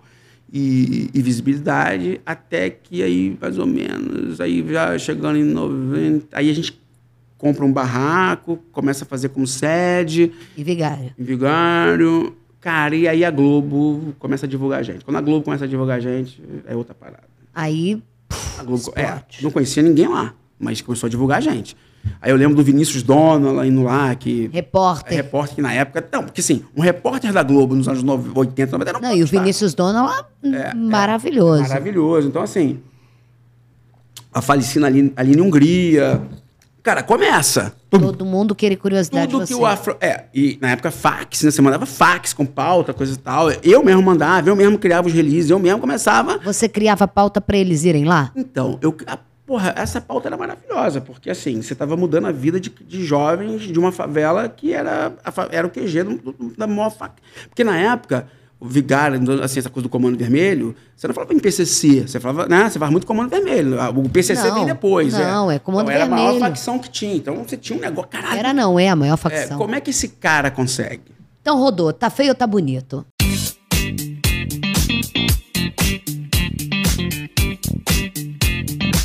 Seu discurso é tirar os meninos do tráfico. A partir do momento que você fala tirar os meninos do tráfico e tem a maior emissora do Brasil te dando foco, é você mostrar que o tráfico é o vilão da história. Não. Não, pelo contrário, todos os traficantes queriam que os filhos entrassem e não seguissem o caminho deles. Todos, unanimidade. Nunca tive uma resistência do tráfico em 31 anos do Afro-Reg. É, se o tráfico quisesse impedir, hum. era um peteleco. Nunca, pelo contrário. Pelo, eu vou te contar uma história de 1998. A gente foi tocar na Copa do Mundo da França a gente tinha uma ONG brasileira com uma ONG holandesa convidou a gente. Uma furada da história, a gente ficou horroroso, acabou no to... a gente foi para a França, mas acabou tocando no, na Copa, uma confusão. A questão é que nós, 43 pessoas do Afro Reggae foram para a França. Se tivesse 44, tinha um garoto que iria, e esse garoto não foi, chamado Bebel. E quando eu, a gente fica três meses na Europa, fazendo turnê, show, coisa e tal, quando eu volto para o Brasil, eu fico sabendo que o Bebel... Não, eu recebo um fax que o Bebel estava no tráfico para mim aquilo foi uma tristeza, né? Quando eu chego, aí eu, né, aí chego eu em 98, fiquei três meses na Europa, porra, uns óculos que ninguém tinha, ah. com as roupas que ninguém tinha, ah. né? Um estilo europeusado. Não, não, um estilo urbano, já, já, uma coisa global. Era, é. era, produtos assim, da Jordan, da Nike, não sei o quê, que não vendia, ah. no, não chegava no Brasil. Né? E aí, quando eu porra, vou pegar o Bebel, quando eu chego em Vigário, ele me vê, ele estava na boca, ele me vê, larga o fuzil, tamanho respeito que ele tinha por mim. Eu corro atrás dele, derrubo ele e começo a dar esporro, porque o pai dele, a mãe, foi assassinada pelo tráfico. Eu falei, cara, é inacreditável como é que você tem um pai e a mãe assassinados pelo tráfico está na boca de fumo. Eu não aceito isso, você não pode aceitar isso. Estou dando esporro. Nisso, passa o chefe do tráfico na hora. Tá vivo esse cara, tirei do tráfico. O Bebel? Não, o chefe. O, chefe. E aí, na, ele vira para mim, o nome dele é, é, dele é João Raul. Era um traficante diferenciado, né? O cara hum. só ouvia Raul Seixas, por isso que é Raul. Não ouvia funk, o negócio dele era Raul Seixas. Gente, o submundo é muito louco é. mesmo. E aí ele vira para mim, ele tá passando com um R15, com segurança. Fala, Júnior, se incomoda? Nem sabia o que ele queria fazer. Eu falei, não. Ele falou assim, quisera eu ter a oportunidade que ele está te dando, estaria carregando isso aqui hoje. Ele só falou isso. E foi embora. E aí esse garoto, eu falei, caralho. Né? Eu dando esporro, mas o cara, o exemplo. Eu viro na hora e falo para esse garoto assim, nós já tínhamos um trabalho no Morro do Cantagalo, né, em Ipanema, com circo, uma escolinha de circo, a Frag tinha, em parceria com o Circo de Soleil. Aí eu virei, porque eu pulei essa parte né, para a gente poder andar é. assim. Inclusive, quando eu vou para o Canadá em 96, a convite do Betinho, é. meu ídolo, Betinho me bota para ir para o Canadá em 96, vou palestrar, eu e Lula presidente Lula, que na época né, era, veio Lula. Betinho me colocou na cara do gol. E lá eu conheço o Paul Laporte, que era um cara de uma fundação chamada Genésio Dumont, e depois esse cara vai para o Cirque du Soleil, e a ideia era montar trabalhos sociais de circo. Nossa, mas a vida vai te levando Vai. por uns caminhos bons de Vai. relacionamento Vai. demais. De sorte também. Sorte. Nossa, é. Betinho me abraçou. Aí em 97. Já, não, aí em 95 eu queria. Leva, 96 a gente cria esse grupo de circo. Aí eu chego para esse garoto, O Bebel. Bebel, vira e fala assim: Bebel, tu tem maior talento para circo. Mentira, tinha talento. Nem sabia se tinha, eu chutei ali na hora. Hum. Aí ele, jura? Eu falei, não juro não. Porque eu sou muito. Né, Ah. Jurar para mim é muito sério. Ah, Mas você tem. Ele acreditou em mim, foi pro circo, foi parar no Circo de Soleil, virou artista do Circo de Soleil, anos depois. Mas por outra história. Aí eu começo aqui a ter uma boa relação com o tráfico. Né? O tráfico sempre me, respe- sempre me respeitou muito. o que, nunca que é uma boa relação com o tráfico? é fazer o que eu você? quiser na favela. Nunca tive impedimento, sabe? E qual é a contrapartida disso? Nenhuma. Zero. Nunca te pediram nada? Já pediram muita coisa, eu não fiz. Hum. Mas você não tinha medo de morrer? Não. Na negativa? Não, porque não era uma imposição, era assim. Porra, cara, que eu, pô, sei, tipo assim, nunca me pediram pra esconder arma, droga, não, nunca, nunca. Era do tipo assim, porra, cara, é tipo se. É, por exemplo, uma época até rolou papo de fazer manifestação, não sei o quê, pra polícia não entrar, eu falei, isso eu não participo. Nunca, Você já negava de cara. nunca. Nunca nunca você passou nenhum medo, assim, realmente, de verdade. Eu já passei muitos medos na favela, mas é claro que eu entrava com o microfone e atrás da polícia, que era o inimigo deles, que é o inimigo deles. Você permeia nesse mundo há muitos anos. Nunca você passou, você é bem direta, um cagaço dentro da favela, em nenhum momento, ou até mesmo de confronto que você ficou no meio. Eu me preparei pra morrer com 16 anos. Depois eu achei que eu ia morrer com 18. Depois eu achei que eu ia morrer com 21, depois com 25. Por que, que você acha que vai morrer tantas vezes? Não, porque eu morei num lugar que meus amigos foram mortos. Sim. Eu vi as pessoas morrendo. Então, eu com 21 anos de idade, Você achava que já Tinha um estava no lucro. O cara mais velho, perto de mim, tinha 16 anos, tinha 15 anos. Então, assim, mas eu, eu vivi, eu vivi eu- meus amigos, meus amigos, alguns entraram pro crime, alguns foram mortos porque estavam juntos e não eram bandidos, e eu cresci num ambiente de prostituição em que a AIDS foi uma bomba atômica. Não se esqueça de que eu morei. Sim. a AIDS nos anos 80 foi uma bomba atômica. Você via gente morrer de AIDS também. Derretendo na. Porque, porra, não tinha AZT, é outra parada. Né? Por isso também que eu me identifiquei muito com a causa do Betinho. Sim. Né? Então, assim, depois, né? Anos depois. Então, assim, eu, eu vou te falar um negócio assim. Eu nunca. Eu já me meti em vários tiroteios. Já mediei muita guerra. Coisas que a, imprensa sabe, coisas que a imprensa não sabe. E eu. O que, que a imprensa não sabe? Ah, muita coisa. 90%. Por exemplo, Cara, eu já tive que. Já teve situações de. De rolar um papo do tráfico de que numa escola de samba de favela poderia desfilar no carnaval e eu tive que mediar essa história pela, porque a prefeitura me pediu na época. E eu fui mediar isso na Inglaterra, em Londres, por exemplo. em Londres? É. Por que em Londres? Tinha um escritório da Anistia Internacional lá, não tinha no Brasil, tinha uma pessoa que era muito respeitada pelos criminosos. É, Esse cara era, um, era o Tim. E esse cara, tipo assim, não é que ele. Ele era respeitado pelo trabalho dele, coisa e tal, e, e ele teve um papel importante, porque a- que acontecia também que tinha uma questão também de falta de respeito com, com os, com os- com os presos, né? Sabe? Assim, então tinha toda uma questão De direitos humanos. de direitos humanos estava sendo desrespeitado. Então, assim, tipo, é, se eles estavam blefando ou não, é, é, eu não paguei para ver. Você foi e negociou. Não, fui lá acionar a anistia, conversei com o Tim, coisa e tal. Eu não fiz isso, por exemplo, a mano do tráfico. Hum. Tinha uma questão com a prefeitura também. Né? Então, assim, é, mas eu fiz por minha conta. Se você chegar para mim e falar assim, porra, alguma pessoa, algum político, alguma pessoa do governo pediu para mediar, já. Se desse merda, a responsabilidade era minha. Eu fui porque eu quis, ninguém me obrigou aí. As pessoas chegavam para você, eh, prefeitos, governadores, ó, precisamos. Já, não, vamos lá, vamos lá. Já aconteceu. Né? É, então, assim, eu não subi no alemão porque eu quis, em 2010, naquela confusão. Eu tinha tava acab- lá. Eu acabei. Tipo, Então, você viu que eu entrei. Eu fui no que entrei, antes Foi. da polícia entrar. Foi. Como? já era, aí naquela época, em 2010, eu já era o cara do Afroreg. É. Já era uma, um popstar do social. Mesmo assim, você estava no maior conflito em que o governo ia ocupar a favela do bandido. E com uma carta para me assassinar. Não sei se você vai lembrar disso. É isso que eu quero chegar. E uma carta para me matar. E eu fui lá no, falar com o cara, um dos caras que mandou a carta. Você ainda anda com segurança? Não, eu andei de 2012 a 2017. Como que é isso? das- Como chega essa história para você de uma carta de que querem te matar? Cara, o... eu tava. Eu lembro que eu tava na Urca. Eu lembro disso. Inclusive, curiosamente, eu estava na Urca ontem. E aí, uma jornalista do estado de São Paulo chega para mim e fala assim. Ela, ela, na, ela me manda. Na época, no, no- era, não sei se foi e-mail. é, tinha, já tinha Blackberry. É, me manda e-mail. que A gente usava e-mail o tempo todo naquela época. É. né?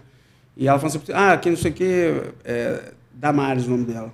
Hoje ela está trabalhando, até hoje tenho contato com ela, está no Médicos Sem Fronteiras hoje.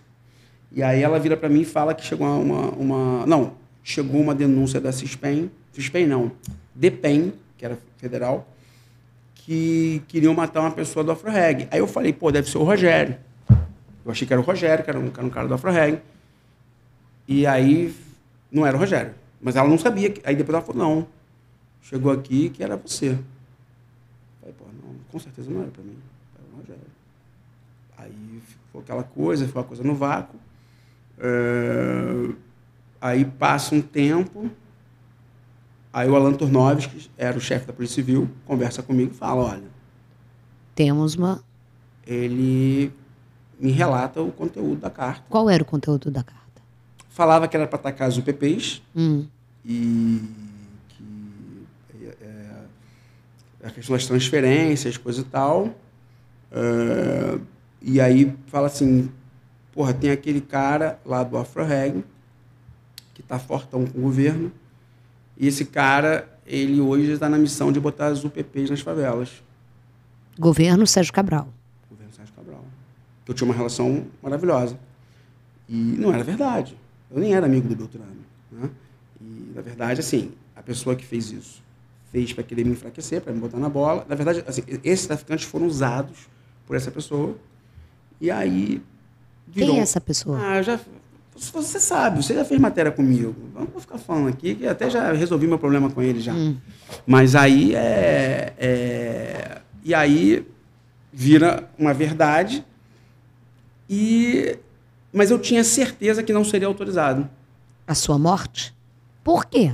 Porque eu tinha certeza, porque eu tinha uma relação boa com a família de, de quem, de quem recebeu a carta. Hum. Eu tinha certeza, eu sabia que não ia acontecer nada, mas eu fiquei puto com quem mandou a carta.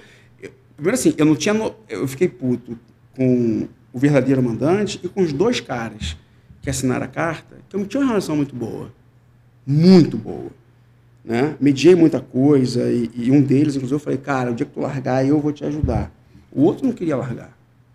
E aí. Porque a vida toda no Afroreg, a história é largou o tráfico ou cumpriu a pena, vem pra cá que a gente bota você no emprego. A gente dá chance de CLT. E aí o que, que acontece, né? Então você tinha essa carta e, e aí eu já sabia. Isso tudo não tinha acontecido ainda a onda de ataques. Essa carta falava da onda de, de- de- falava de uma possível onda de ataques, Que teve a ônibus, queimando o ônibus, queimando tudo. sim. Mas não estava acontecendo. Mas aconteceu. Aconteceu. É, logo dias depois. Mas a sua morte não. Então, aí minha morte não. E aí, quando tem a onda de ataques, é, eu, o Alan foi muito. que o Alan poderia não me falar. É, mas ele foi muito correto comigo. Foi muito. Como era a sua relação com a polícia, sendo que você Nessa permeava... época já era boa pra caralho, mas assim, é, a minha. A pessoa que costurou Hum. a. Porque até 2004 eu era visto como bandido. Até 2004 você era visto como bandido. Depois você é visto como porta-voz de bandido. Não, não, não, não. Isso na época eu era visto como porta-voz de bandido. Ah, Na verdade é o seguinte, é, em 2004, o que, que muda na minha vida? é. Zuenir Ventura faz um artigo falando de mim, das mediações que eu fazia, coisa e tal, e eu tinha feito um trabalho com a Polícia de Minas, porque o que acontece? É, a professora Silvia Ramos do SESEC Hum. fez uma pesquisa chamada Elemento Suspeito, depois virou um livro. Nessa pesquisa, ela descobriu que eu era a pessoa mais parada em blitz do estado do Rio. E ela quis entender por que eu era tão parado em blitz. Eu falei, "Ah, professora, na época, a cabeça do Júnior de 2004 não é de 2024. Tá. Ok? Eu falo, professor, é normal. Eu saio de tudo quanto é favela de madrugada. Então, polícia para mesmo. Né? Saía da Vila Vintém. Saía, porra, de Praia de Lucas, de Vigário Geral, de, sabe assim, Complexo do Alemão, Complexo da... Tem, é, tem que parar mesmo, na minha cabeça. E aí, né? E aconteceu um fato que marcou. Eu um dia estava na linha, na linha vermelha, um tiroteio, assim, aqueles hollywoodianos, né? Todo mundo voltando de ré. Quando eu estou voltando de ré, um policial, ô, tu não, para aí. Eu parei, o tiro, bala comendo. Aí ele vira e fala assim para mim, tu é daquele bagulho lá, né, mano? De afro-reggae. Falei, sou. Aí ele, porra, meu irmão, só faz show pra, pra bandido? Isso em 2004. Esse circuito de shows, de grandes shows em favela, começou em 2001 e era um show por mês. Caetano, Gil Rapa, Cidade Negra, Fernanda Breve, era só artista top. Que, não, que só fazia show no Elite Canecão. Zona Sul. Não, o Rapa não era Elite Zona Sul, Não, nem, nem Rapa Cidade não, Negra. mas todo mundo só canecão. Não, é, mas a favela gostava, né? Ó, Mas também fiz Racionais, fiz você tudo. leva todo mundo. E aí ele falou, você faz show pra bandido, não sei o que. Eu falei, não, eu faço show pra favela. Mas por que tu não faz show pra polícia? Aí me questionando e o tiro comendo. Aí eu falei, cara, ele falou assim, vem cá. E o que eu vou te falar agora não era corrupção. Porra, tu não tem um CD, um DVD pro polícia, não? Não era corrupção. Porque eu, eu falei, caralho, parece um moleque da, os moleques da favela, o tempo todo, porra, tio, tem um DVD, não tem um CD, não sei o quê. Aí eu falei, tenho. Eu tinha três CDs e dei. Aí ele falou assim, três? Nós estamos 20. Eu falei, caralho, cara. E, e eu achei engraçado. CD de quem? Do Você Afro lembra? Reggae. Ah, do Afro Reggae, É. tá. Aí eu achei aquilo engraçado, me liberou, fui embora. Procurei a Silvia Ramos, que já tinha feito a pesquisa comigo. Falei, professora, aconteceu isso aqui comigo. Eu quero fazer um trabalho com a polícia. Ela contra a polícia, né? Eu falei, não, com a polícia. F- Eu, eu vi naquele policial, contei a história para ela, parecia um menino da favela. Então eu quero pegar vítimas de violência policial e dar essas vítimas darem aula para a polícia de percussão, de dança. E tinha um caso emblemático no Afro Reggae, que, porra, foi um, porra, foi um, porra, foi um impacto nacional que um integrante do Afro Reggae, que era do Rapa, que era o Paulo Negueba, tinha tomado um tiro de fuzil no pé, teve o pé estraçalhado. Então, assim, cara, o Bial foi fazer matéria com ele no Fantástico. Foi um negócio. Né? Isso foi, foi um pouco antes. Foi antes. Antes do Bial ir pro BBB. Foi um negócio grande. E eu falei, o Paulo Negueba, que a polícia odiava ele, porque caiu. Deu uma confusão, caiu, o G- caiu o comandante, caiu um montão de coisa. Foi em 2002 que ele tomou o tiro, governo Benedito. É, aí. Aí foi a primeira vez que a gente viu o caveirão, que chamava, que a gente chamava de morcegão. Aí, porra, eu falei, o Paulo Negueba vai ser o símbolo desse projeto. E o Negueba aceitou? Claro. Ele era do Afro Reggae, pô. Ah, Afro Reggae tem uma outra. Os garotos têm uma outra visão. outra visão. Afro Reggae. Não sabe- odeia a polícia. Então, não odeia a polícia. E, e, e assim, e, e- e a gente, eu, eu, eu trabalho, eu sempre trabalhei isso até hoje. A polícia não é o inimigo. Hum. Sempre. Né? E o bandido também não é o inimigo. O inimigo é outro. O inimigo é o sistema. Ah, Então é o seguinte. Aí eu fui e falei isso. Aí ela foi e fez o projeto. Mandamos para Elizabeth Leeds, que era da Fundação Ford, aprovou na hora. E aí tentamos marcar com o governo do estado do Rio. Não rolava. Aí um dia, Caetano Veloso convida a gente para tocar na Piazza del Popolo, que é uma praça em Roma. E eu lembro que o, o, o, o recorde dessa praça foi um show do James Taylor com 70 mil pessoas. O Caetano botou 100 mil pessoas. meu Deus. Eu, tinha, eu era amigo do prefeito de Roma, que era o Walter Veltroni. Gente, eu não tô entendendo. ele visitava a Freg. E o Walter Veltroni falou... Para, ô, ô, ô, Auxili- Auxiliano, nossa produtora. O cara já passou por. Eu não consegui falar ainda sobre Betinho. O cara já passou. Arcanjo renegado. Ah, Não falamos de Arcanjo Renegado, não falamos, falando de nada. E o cara é amigo do prefeito de Roma. Apenas, Migues. Apenas. Ah. É, Amigo mesmo. Ele- Aí ele falou, vou levar o Caetano, vou levar vocês. E aí a gente foi. Acabou o show do Afro Rec, a gente abriu o Caetano, estamos descendo do palco. Garotinho. Caralho, Afro Reg! Puta que o pariu. Quem? Rosinha, governador. Gar... Anthony Garotinho. A Anthony Garotinho. Tava lá. Anthony Garotinho. Já tinha saído da Benedita. Já tinha saído a Benedita, Rosinha, governadora, ele, Ele- secretário de Segurança Pública, lembra? Ah, sim. Ele é governador, vamos falar a verdade. Sim, mas é. ele tinha um cargo de Ah. segurança. Tito Riff Ah, e o coronel Jorge da Silva. Tito e o Coronel Jorge Silva acho que já faleceram. Estavam nesse show. Estavam nesse evento a convite do governo de Roma. Ah. Não, eles estavam em Roma, coincidiu. Não foi por causa do show. Tá. Mas estavam lá. Eu viro e falo, pô, governador, obrigado, pá, não sei o quê. Não perdeu a oportunidade, mandou. Falei, porra, temos um projeto chamado Juventude e Polícia. Aí falei tudo, ele falou assim, tá aprovadíssimo. O que, que você precisa? Dinheiro? Eu falei, não, não, dinheiro tem da Fundação Ford. Jorge, vem cá, Coronel Jorge da Silva, ele era secretário de Direitos Humanos. Pode armar tudo com o João. Beleza. Aí marcamos uma reunião, coisa e tal. O Coronel Jorge da Silva foi. O Coronel Jorge da Silva era, é, é, faleceu tem alguns anos, era negro, Ah. super conectado, foi coronel da PM, cara incrível, também outro gênio. Aí estamos na reunião, coisa e tal. Quando acaba a reunião, ele fala assim, Johnny, o garotinho aprovou, topou, mas ele não vai topar o SESEC, que era da Silvia Ramos. Sim. Já tinha, o Luiz Eduardo Soares era perto, amigo dele. Pra aquela entender, né, aquela coisa tipo assim, ah, é antipolícia, isso, aquilo, toda aquela coisa que ainda existe até Polícia hoje. Gruber, não sei É. que coisa. Eu falei, eu não posso tirar eles. Eu criei junto com eles. Ah, Aí, um dia, fui, fui convidado pela Secretaria de Defesa Social. Passou, aí passou um tempo, tá? Fui convidado pela Secretaria de Defesa Social de Minas Gerais. Lá, o nome não era Segurança Pública, era Defesa Social, para dar uma palestra. E o Aécio estava nessa palestra também, nesse evento. Aí, cara, eu, tipo, eu entro depois do Aécio, mas o Aécio me assiste. Tava o o Flávio Sapori também, que era o, era o subsecretário. E aí, no meio da conversa, eu falo, eles me falam, eu falo, olha, eu tenho um projeto que eu tentei fazer no Rio, não consegui, coisa e tal. Um dia eu vou tentar fazer, vou tentar ver se a gente consegue. Aí expliquei, conseguiu em Minas.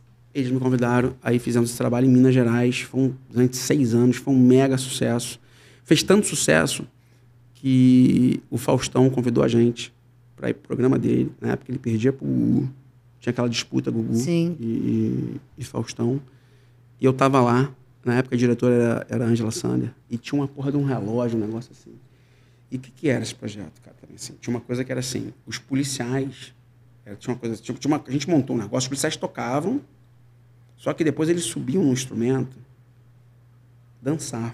Policiais, Os policiais? far- fardados e armados. E abriam assim a farda dançando, tinha a camisa do Afro Reggae. Essa brincadeira era pra gente ficar 10 minutos no Faustão.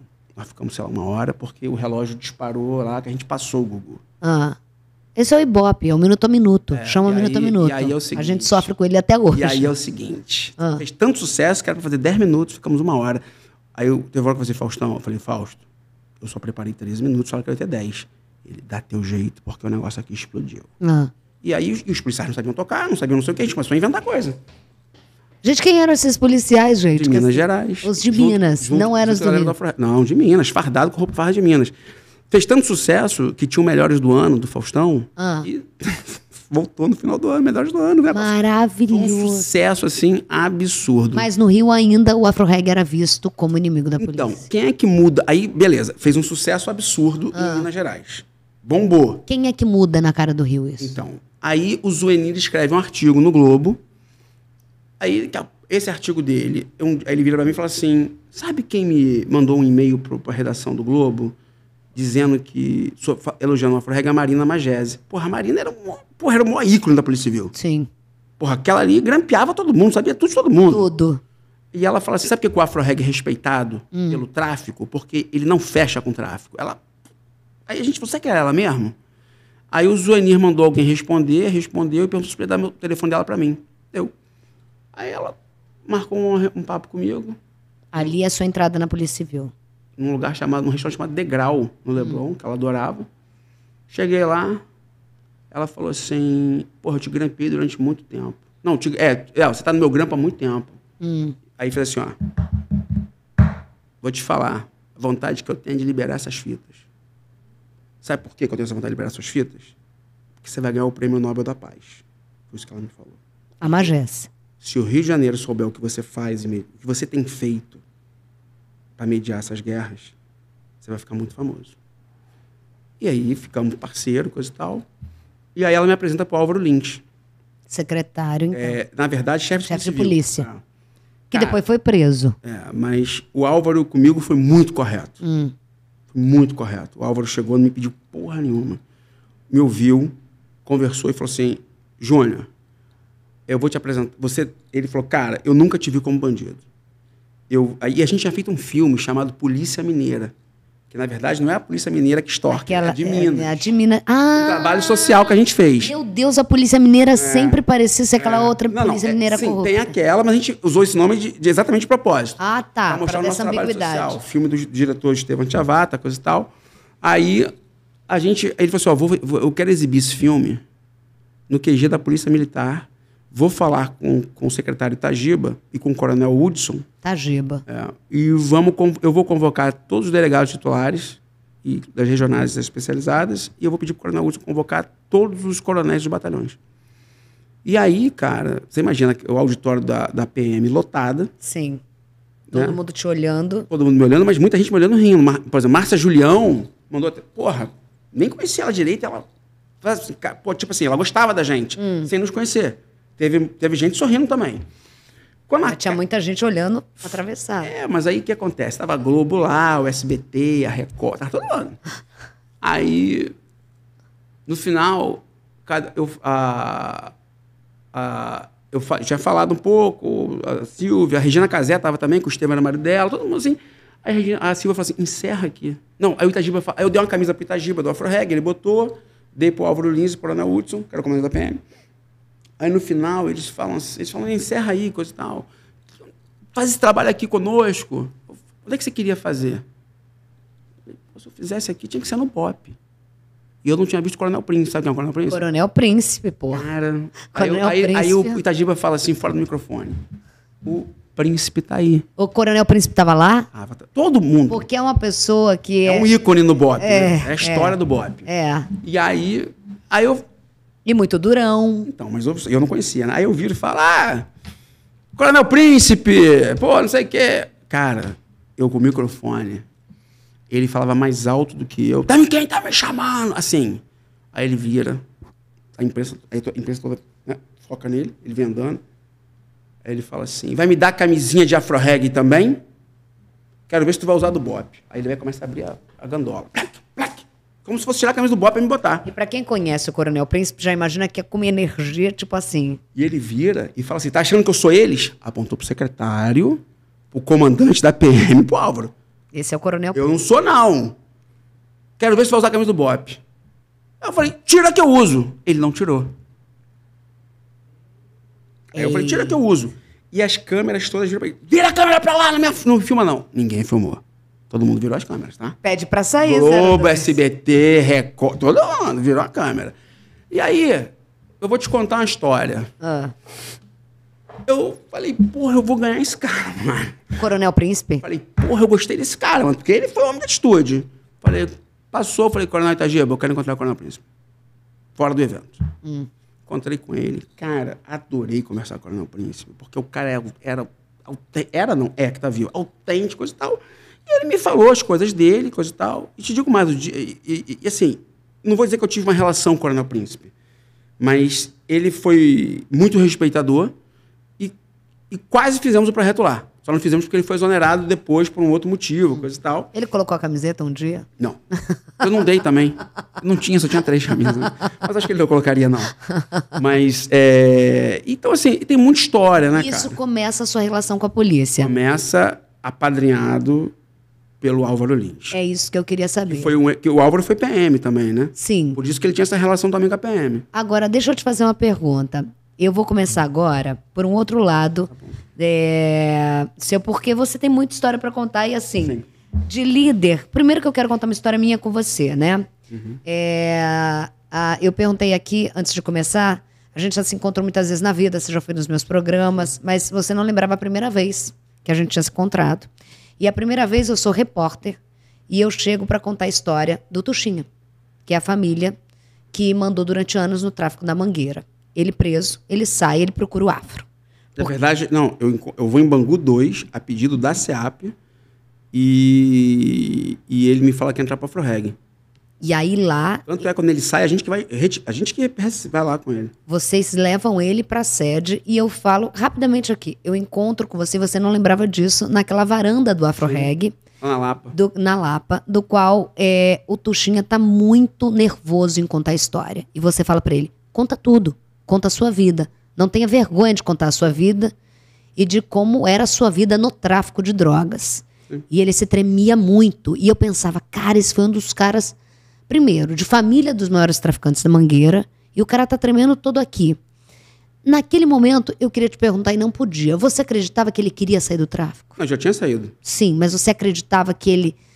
Não, mas na verdade minha história com ele é preso. Eu vou lá em Bangu 2 Hum.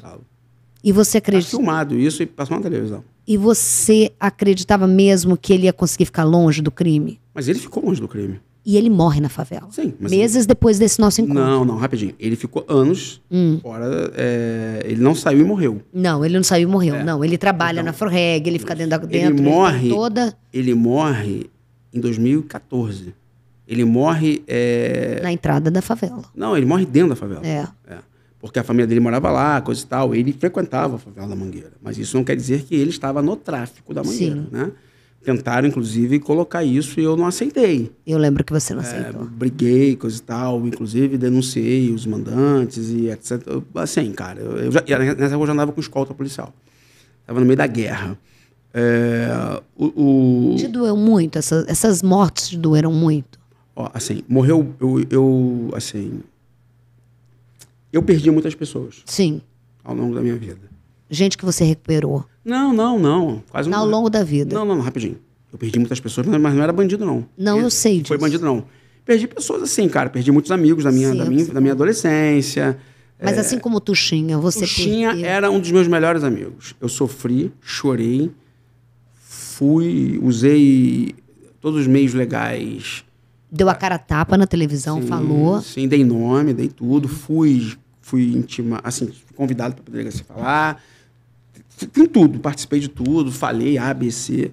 É, não me arrependo, né? De nada do que eu fiz com relação a isso.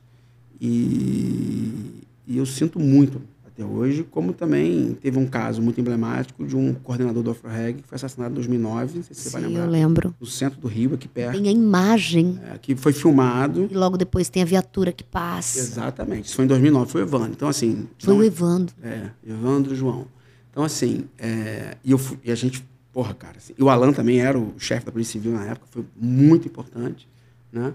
Então, assim, é, essas mortes eu nunca superei. Hum. E acho que nunca vou superar. Por quê? Porque eu sou canceriano, porque eu tenho uma relação com essas pessoas, porque É. Você acha que eles tinham um futuro? O Evandro nunca foi bandido, né? O Evandro, É. o Evandro, tá vindo pro, o Evandro era gay, tá vindo pro baixo gay. Tava indo. Pro baixo gay. O cara era gay, Tem a trabalhador. imagem dele sendo morto. É, então, assim, mas graças a Deus, né, cara, assim, ah, por exemplo, eu usei o meu network também, mandei recados, inclusive, falei, ó, Pra quem matou. pra quem matou, não, pros donos de boca. Falei, ó, meu irmão, os caras têm que, assim, esses caras, meu irmão, têm que ser achado, mano. E a polícia, e assim, e a polícia foi atrás e prendeu. Um foi a polícia civil, outro foi a polícia militar, área de inteligência. Então, assim, eu te confesso que. E tive muito estresse, sabe, por causa disso, porque na época o comandante era o coronel Mário Sérgio. Ele não foi correto também, ele meio que meteu umas broncas aí na época, entendeu? O Coronel Mário Sérgio também polêmico, né? É, então, ele ficou. Porque teve, teve uma. a- o mesmo auditório que eu fiz a exibição do filme em 2004, em 2009, ele, ele convocou uma coletiva. Não, na verdade, o, o secretário Beltrame, eu estava ao vivo no estúdio I, Hum. e aí é, ele entra num link, não se dirige a mim, como se eu não existisse, não fala nada, e já tinha as imagens dos policiais, né? Finge que nada aconteceu. Quando acaba o estúdio I, o Beltrame me liga e pede pra mim lá na secretaria. Ele fala, cara, pô, tô muito. Ele conhecia o Evandro, o Beltrame. Ele falou, pô, tô triste, coisa e tal, papapá. E aí ele falou assim, pô, o Mário me disse que te ligou, né? Conversou contigo. Eu falei, que Mário? Aí ele falou do Mário, do, do comandante. Mário Sérgio. Falei, não, me ligou não. Pelo contrário, entrou o link ao vivo, eu era o invisível. Nem se dirigiu a mim. Ele ligou, falou certas coisas que eu vi que eu não vou repetir aqui. E aí passou, sei lá, 15 minutos. Na época eu não conhecia. Capitão Blas me liga. Capitão Blas. Hoje é coronel. E que você transformou em ator. Mas Ê, época- Blas. Me liga, é porta-voz. Não, não sei o que. esse Mas gente- ele te ligou daquele jeito, falando bem assim, falando nervoso, falando todo militarizado? Falo militarizado, porque se eu podia participar de uma reunião com, com o coronel. Eu participei. Eu vou te falar uma coisa também aqui que eu nunca falei em entrevista. Fui pro gabinete dele E, e ele sempre postou que eu era bandido, né? Ele tinha um blog. E aí, antes, né? Antes de ser comandante. E aí, na, na conversa com ele no gabinete dele, me tratou muito educado, muito bem, muito nervoso, assim, muito porque tinha uma pressão da mídia muito grande, né? Vocês todos batendo pra cacete, porque tinha uma imagem do policial roubando o bandido que matou o Evandro, né? Sim. A gente não pode esquecer disso. É o A Evandro sendo morto, os vem a viatura para o povo entender, e depois o povo, os policiais. roubam os roubam bandidos que roubaram o Evandro e mataram. Sim. Né? E não, e prevaricam. Exatamente. Não aí, aí, é, aí ele conversa comigo, ele fala, coisa e tal. E aí ele fala, pô, não, queria, vai ter a coletiva, queria, é, queria fazer um acordo contigo, um combinado, da gente combinar aqui, não sei o que, coisa e tal. Aí eu falei assim para ele, o senhor faz acordo com bandido? Aí ele falou assim, não, claro que não. Falei, Mas lê o seu blog, o que o senhor fala de mim? Só queria fazer acordo comigo, se eu sou bandido. Cara, ele se, né, ali, se desconstruiu, coisa e tal, falou comigo, eu falei, então vamos fazer um combinado aqui. Se o senhor me falar que vai tomar atitudes, eu não vou bater na polícia. Exatamente isso. Se o senhor não fazer isso, eu vou tomar, eu vou falar o que eu acho também. Ele abre a coletiva dizendo que tomar atitudes, coisa e tal, e tomou mesmo. Só que ele não. Todas as perguntas que vinham, porque você tem é, policiais, né? Todas as esferas, tem alguns que falam que são. Cara, tipo a mim. Porra, a mim é preparadíssimo para conteúdo, embate. Outros. outros Blas, você tem uma galera, né? Você Quem tem- te apresentou a mim sou eu, dentro do estúdio do SPT Rio. não falei, eu fiquei não falei- tensa. não falei à toa, né? Eu fiquei Não, não, eu conhecia tensa. da DRAI. Eu conheci ele como Ah, é. inspetor, doutor Oliveira. É, ele era inspetor, tudo bem. É, Mas ali naquele é assim, momento não, eu tinha mas- você e ele dentro do estúdio e tal.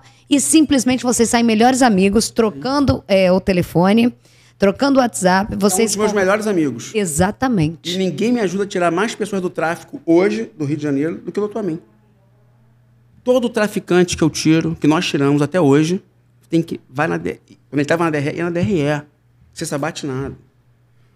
Doutor Amin, hoje, é o maior parceiro do Grupo Cultural Afro-Reg, da ONG, em ajudar a transformar vidas de ex-traficantes. Você fala assim, quem é o parceiro número um que estimula, que incentiva? Marcos Amin. Muita gente vai achar que é mentira porque ele tem esse jeitão. Ah, ah, vamos Não, não, caçar. não, ele é justo. Não, não, peraí. Tem um jeito de caçar, ok. Ah. Mas ele é uma pessoa, cara, que é o seguinte. é, não teve um- uma pessoa que eu levei lá que ele, por exemplo, que ele não tenha sentido isso. Ele, ele, ele assim, ele é muito do bem. Ele é um dos caras assim, sempre fala assim pra mim, cara, me fala 10 pessoas que você confiaria 100% da tua vida. 10. Não vou, não vou dizer de um ou décimo. Um deles vai ser o Amin. Cristiano também é da equipe dele. Confio muito. Chefe de, muito. sempre chefe de polícia. Parceiro, amigo. Estou falando de amigos de verdade. Amigos da- do Grupo Cultural Afro Reggae que ajudam na ressocialização de egressos. E tá? que são policiais natos. São policiais natos, operacionais, investigativos e que não passam a mão na cabeça de ninguém. Então, é, inclusive amanhã, amanhã não, desculpa, hoje, É, hoje, Vai que vai estar um- na quinta-feira. vai ter um evento. Amanhã a gente inaugura a estátua do Betinho. Hoje a gente inaugura a estátua do Betinho. Dizer, Hoje ou amanhã, o que, que eu falo? Você pode falar o que quiser, estamos gravando na quarta e vai entrar no ar na quinta. Hoje? Então, hoje ou amanhã, Aham. vamos inaugurar a estátua do Betinho. Vamos sair de lá para ir para a OAB, para um evento do Amin. Na OAB e o AfroRec está apoiando. Maravilhoso. Ter vários Caiu, egressos. caiu na rede Esquece, então, é onde entra a história de você com audiovisual, já que vamos falar de Betinho. Quer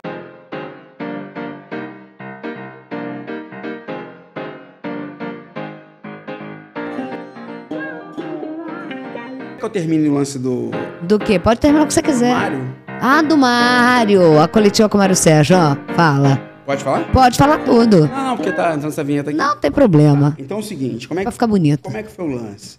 E aí, cara, no final, ele não respondia nada que a imprensa queria. Nada. Aí o Flávio Fachel, Ah. que hoje apresenta o Bom Dia Rio, era Sim. repórter, ele faz uma pergunta que ele não responde, aí que as perguntas eram para ele. Porque eu também falo, olha, gente, todas as perguntas ser direcionadas ao, ao Coronel Mário Sérgio. Mas o Fachel faz para mim. O que, é que eu achava dos policiais? Eu falava assim, eu falei, eles são bandidos. Esses policiais não não correspondem, não são, não correspondem à seriedade da corporação. São policiais fardados. O Mário Sérgio, inclusive, faz assim. Concordo. E tal. Eu tiro a corporação da parada. Uhum. Aí no final, aí o coronel Álvaro, que era do Estado-Maior, ficou puto. Acaba com a coletiva. O Mário fala, quer tomar um chá? Não, não, tô embora. Júnior, conta comigo, qualquer coisa. Passa, sei lá, uma hora, eu lembro que a Maria Inês do dia fala assim, tá sabendo que o coronel Mário Sérgio reconvocou a coletiva? Eu falei, não. Pois é, para falar de você, não sei o quê. Aí ele, não, ele foi desrespeitoso. E papapá, papapá, papapá. Meu Deus, que novela. É. Aí o Sérgio Cabral solta uma nota. O Zé Júnior está certo. Esses policiais não correspondem à corporação, são bandidos ao cubo. O governador fala isso. Aí ele ficou puto comigo. Aí tem a história do alemão, né? Que ele fica puto porque eu vou lá. Eu não fui lá porque eu quis ir. Você foi por quê? Fui porque eu fui. 2010. Não, fui porque o governo pediu. Ah, Fui porque a população pediu. E até os bandidos pediram. E as forças de segurança pediram. pra não ter guerra. Eu fui lá, não foi para ninguém se entregar. O que, que você foi Eu fazer? fui lá para acabar com o ânimo de ter um banho de sangue. Porque aquela reação dos criminosos poderia gerar um banho de sangue de todos os lados. Podia morrer Polícia, policiais, pessoas inocentes, imprensa e bandido. eu tava lá. É, então, você deve ter visto quando eu cheguei. Quando eu entrei, quando eu entrei, não sei se você vai lembrar, eu fui aplaudido pela população, batendo palma e gritando meu nome. Parecia, né? Então, assim, eu tinha uma missão para ir lá. Só que eu tinha uma missão Final de novembro, começo de dezembro. maior, porque eu queria olhar na- no olho de quem mandou a carta. Ah, tem essa história. e eu olhou? falei assim: você não mandou cartinha para me matar? Olha quem está aqui agora. E a pessoa nega que tenha mandado, diz que foi o outro que mandou. E tem toda uma história em que, eu, assim, eu lembro que na época que chegou essa carta, perdão, a carta não. Quando eu decido subir, ir, eu estava na DAS. Delegacia de sequestro. É, porque a, a esposa do Marcinho estava presa Hum. lá, injustamente. Marcinho VP. É, a esposa dele, a Márcia, que é uma grande amiga, uma das minhas melhores amigas, foi presa injustamente. Né? Não pela DAS, foi presa justamente. A DAS acolheu. E eu estava com o inspetor Magalhães, que na época chefiava a DAS, e o inspetor Marco Pedra, que não era da DAS, mas inclusive já veio a falecer. E eu falando de lá. Aí, ele- aí o Magalhães, eu lembro que o Magalhães falou assim para mim: você tem duas opções. Se você não ir, é, acaba o mito. Tá com medo. Uhum. E se você for, ele sabia da carta, o cenário mais positivo você pega como refém. A opção é sua. E Você eu, foi. eu fui porque eu, eu vou te falar uma coisa assim. Eu tenho um chamamento espiritual. E o que, que você ajudou na UPP? Na na, UPP? na- ne- naquela entrada do alemão, aquela fuga daqueles Não, bandidos. não ajudei. Não, cheguei. Isso foi depois. né? Eu sei. fui, eu fui no Você- dia anterior. Eu, eu sei, mas o que, que você acha que você colaborou para não ter o banho de sangue que você fala? Eu acho que quando eu falei com os caras que eles não deveriam ir para o enfrentamento, Ah, é, e alguns hoje estão no Afro-Reg, ah, estavam lá hoje, né? Não na época. Eu acho que eu ajudei a criar um desânimo para o enfrentamento, porque eu falei, vocês vão todos morrer. Eu falei, cara, vocês vão morrer todo mundo. Não tem jeito, você já viu a quantidade que tem aqui? Eu não mandei ninguém fugir. ah. Eu falei, cara, vocês não, não tem jeito, coisa e tal, vai morrer muita gente inocente. Aí fiz um, todo um discurso em cima disso. Ô Zé, falando da Caiu na Rede Esquece que entrou, é, você tem muita história para muita coisa. Você fica muito maior que o Afroreg. E aí vem você no audiovisual, que simplesmente. Você começa. A gente está falando da história é, da série do Betinho, no filme da Navalha. Começa onde essa história tua? Além de você já ter essa boa relação com a imprensa, essa boa relação. Você sabe utilizar a imprensa, você sabe criar pautas, você tem ligação direta com apresentadores. Você leva Luciano Huck para Para O social-. Ele- E ele me dá crédito disso. Sempre deu. e ele você já era forte na televisão. Você tá falando de Luciano Huck, mas lembra que eu fui no Fausto? Tive com o Fausto. Faustão, Uma você galera, né? Então, você assim, já passa por fantástico e tudo mais. Tá, você já era forte. Todo mundo pensa que você é Luciano Huck, mas você já era Não, forte. não, porque a minha relação com ele talvez seja a relação mais forte. Tive com a Regina Casé. Regina é Sim, Regina. Apresentadora. Sim, mas com o Luciano Huck é mais forte. Por quê? Cara, o Luci... assim, eu, eu, eu e o Luciano, a gente tem uma conexão que não é uma conexão só de amizade. Hum. A gente tem uma conexão, assim, Não que ele frequente a minha família, eu frequente a família dele. Não frequento. Nem ele a minha. Mas a gente se considera, a gente se considera. já ia te perguntar das festas da Angélica. Nunca fui. Nunca? Nunca fui nem convidado. chamada. É. Nunca fui nem convidado. Não? Não. Ah. Já fui convidado pro casamento dele, que ele me convidou. Ah. Não tenho relação com a Angélica. Como assim não? Tem nada com, mas eu não tenho. Né? Tenho com ele. É, assim. é, e, e, assim, eu acho que a gente tem uma coisa de uma brodagem de, por exemplo, ele, ele, Luciano também é um dos maiores parceiros incentivadores de ressocialização. Luciano Huck já mediou guerra comigo em 2004. Ah, não. Já. Já. Já. Já levei. Como? Porque eu fiz um evento que parou. A maior guerra da história do narcotráfico do Rio de Janeiro, Vigário Geral e Praia de Lucas, né? 25 anos Sim. de guerra. E vivi- vivemos uma situação Tensa. de mediar essa guerra. O Luciano foi comigo nos dois lados. E ele, Luciano não é um playboy branco judeu de São Paulo. Achar isso é uma imbecilidade. Ele é um cara diferenciado. O Washington Oliveto me contou que tinha uma reunião na casa do, do, do Luciano, no caso do padrasto do Luciano, que era um cara, né, que... Publicitário, o Astor Oliveto publicitário, o pai do Luciano é, é classe média alta.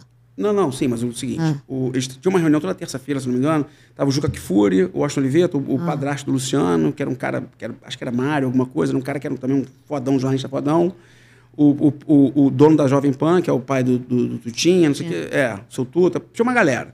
E ele falava que toda terça-feira tinha essa reunião, era quinta, e, e ele falou assim, cara, e tinha aquele moleque, 14, 15 anos, narigudo, feio, Washington falando. Ficava olhando a reunião, olhando. Quando esse garoto faz 18 anos, ele vai em cada um que está ali. Foi no Washington, foi no cara da Jovem Pan, foi que pedir um estágio. Olha só, o Luciano estagiou em vários lugares para ser o que ele é. Então ele se preparou desde muito cedo. Aí você, eu volto, corta para o Luciano no meio dessa guerra. Ele vai no meio da guerra com você mediar com um bandido Vai- armado? Vai e, e todas as falas dele parecia que ele era uma pessoa muito experiente na arte da mediação de guerra, de conflitos. de. No meio de bandido armado? Sim. Sim. Meu Deus. Foi. Como já foi comigo em Bangu 1, Bangu 2, Bangu 3, Bangu 4, só que não foi advogado, já foi comigo várias vezes. Isso sem gravação, sem câmera, sem nada? Já gravou uma vez para um documentário que nunca foi lançado em 2009, irmão Mas- dele, o Fernando Grossa, mas não filmou, mas assim, é, ele foi, o, o Luciano sempre foi uma pessoa que acreditou na mudança das pessoas. Então assim, aquilo que parece fake, né? Tem hora que fala assim, ah, É essa brodagem que liga vocês. Acreditar na A gente- transformação das pessoas. Sim, ele, ele, ele é um cara que, assim, ele acredita muito, né? Então, assim, é uma pessoa... Não, a verdade, assim, eu não sei se ele acreditava antes. Ah, A convivência... Por exemplo, esses shows de favela que eu fazia, ele era apresentador, não cobrava nada. Vários shows. dentro da favela. Complexo, ele apresentou show no Complexo Alemão, em Acari. Já famosão? Já... É óbvio. Como é que eu vou botar ele para ser apresentador? Não já, era, já era o Luciano Huck. Já era o Luciano Huck, Band ou Globo? Globo. Caraca! Globo, Globo, e assim, cara, ele. é, assim, a gente, eu tô te falando assim, ele é uma pessoa que já se posicionou muito Ah, a meu favor. E, e é importante você saber que o que eu vou falar aqui, tem alguns que teriam vergonha de falar. e Eu não tenho. É, o AfroReg foi uma grande ONG, uma época, talvez a maior ONG do Brasil durante um período. Em, 2015, em 2008, eu começo a apresentar programas de televisão, Conexões Urbanas, aí crio coisas para o Multishow, para o GNT, para o Canal Brasil, coisa e tal. Em 2015 eu falo, meu ciclo na ONG se encerrou. Eu vou migrar para o audiovisual. Quando eu migro para o audiovisual, em 2000, eu, eu, eu, eu aviso em 2015, mas não aviso publicamente, porque tinha um temor até, falar, cara, se você avisar, acabou a Afroreg. eu não avisei. Só que as pessoas sabiam. Em 2016, quando eu criei a produtora, inclusive, é, eu, quando eu criei a produtora, eu, eu tive vários investidores. Né? E um investidor, que é o cara que eu também me ajuda muito, ajudou muito, chama-se Armínio Fraga. O grande investidor foi o Armínio Fraga. Armínio Fraga, Fábio Barbosa. Fábio Barbosa foi presidente do Santander, foi presidente da Natura. Armínio Fraga, ministro. Armínio Fraga foi ministro. Não, sim. Eu, eu tive quatro ex-presidentes de banco como sócio. Né? E, e aí, porra, criei a produtora, a ONG quebra, mas a ONG não quebra porque eu saio, a ONG quebra porque 2000 começa a ter uma crise, o governo Dilma, tem toda uma situação, e a ONG ela, ela, tinha, um patro- ela, ela tinha um movimento muito grande E tinha 472 funcionários.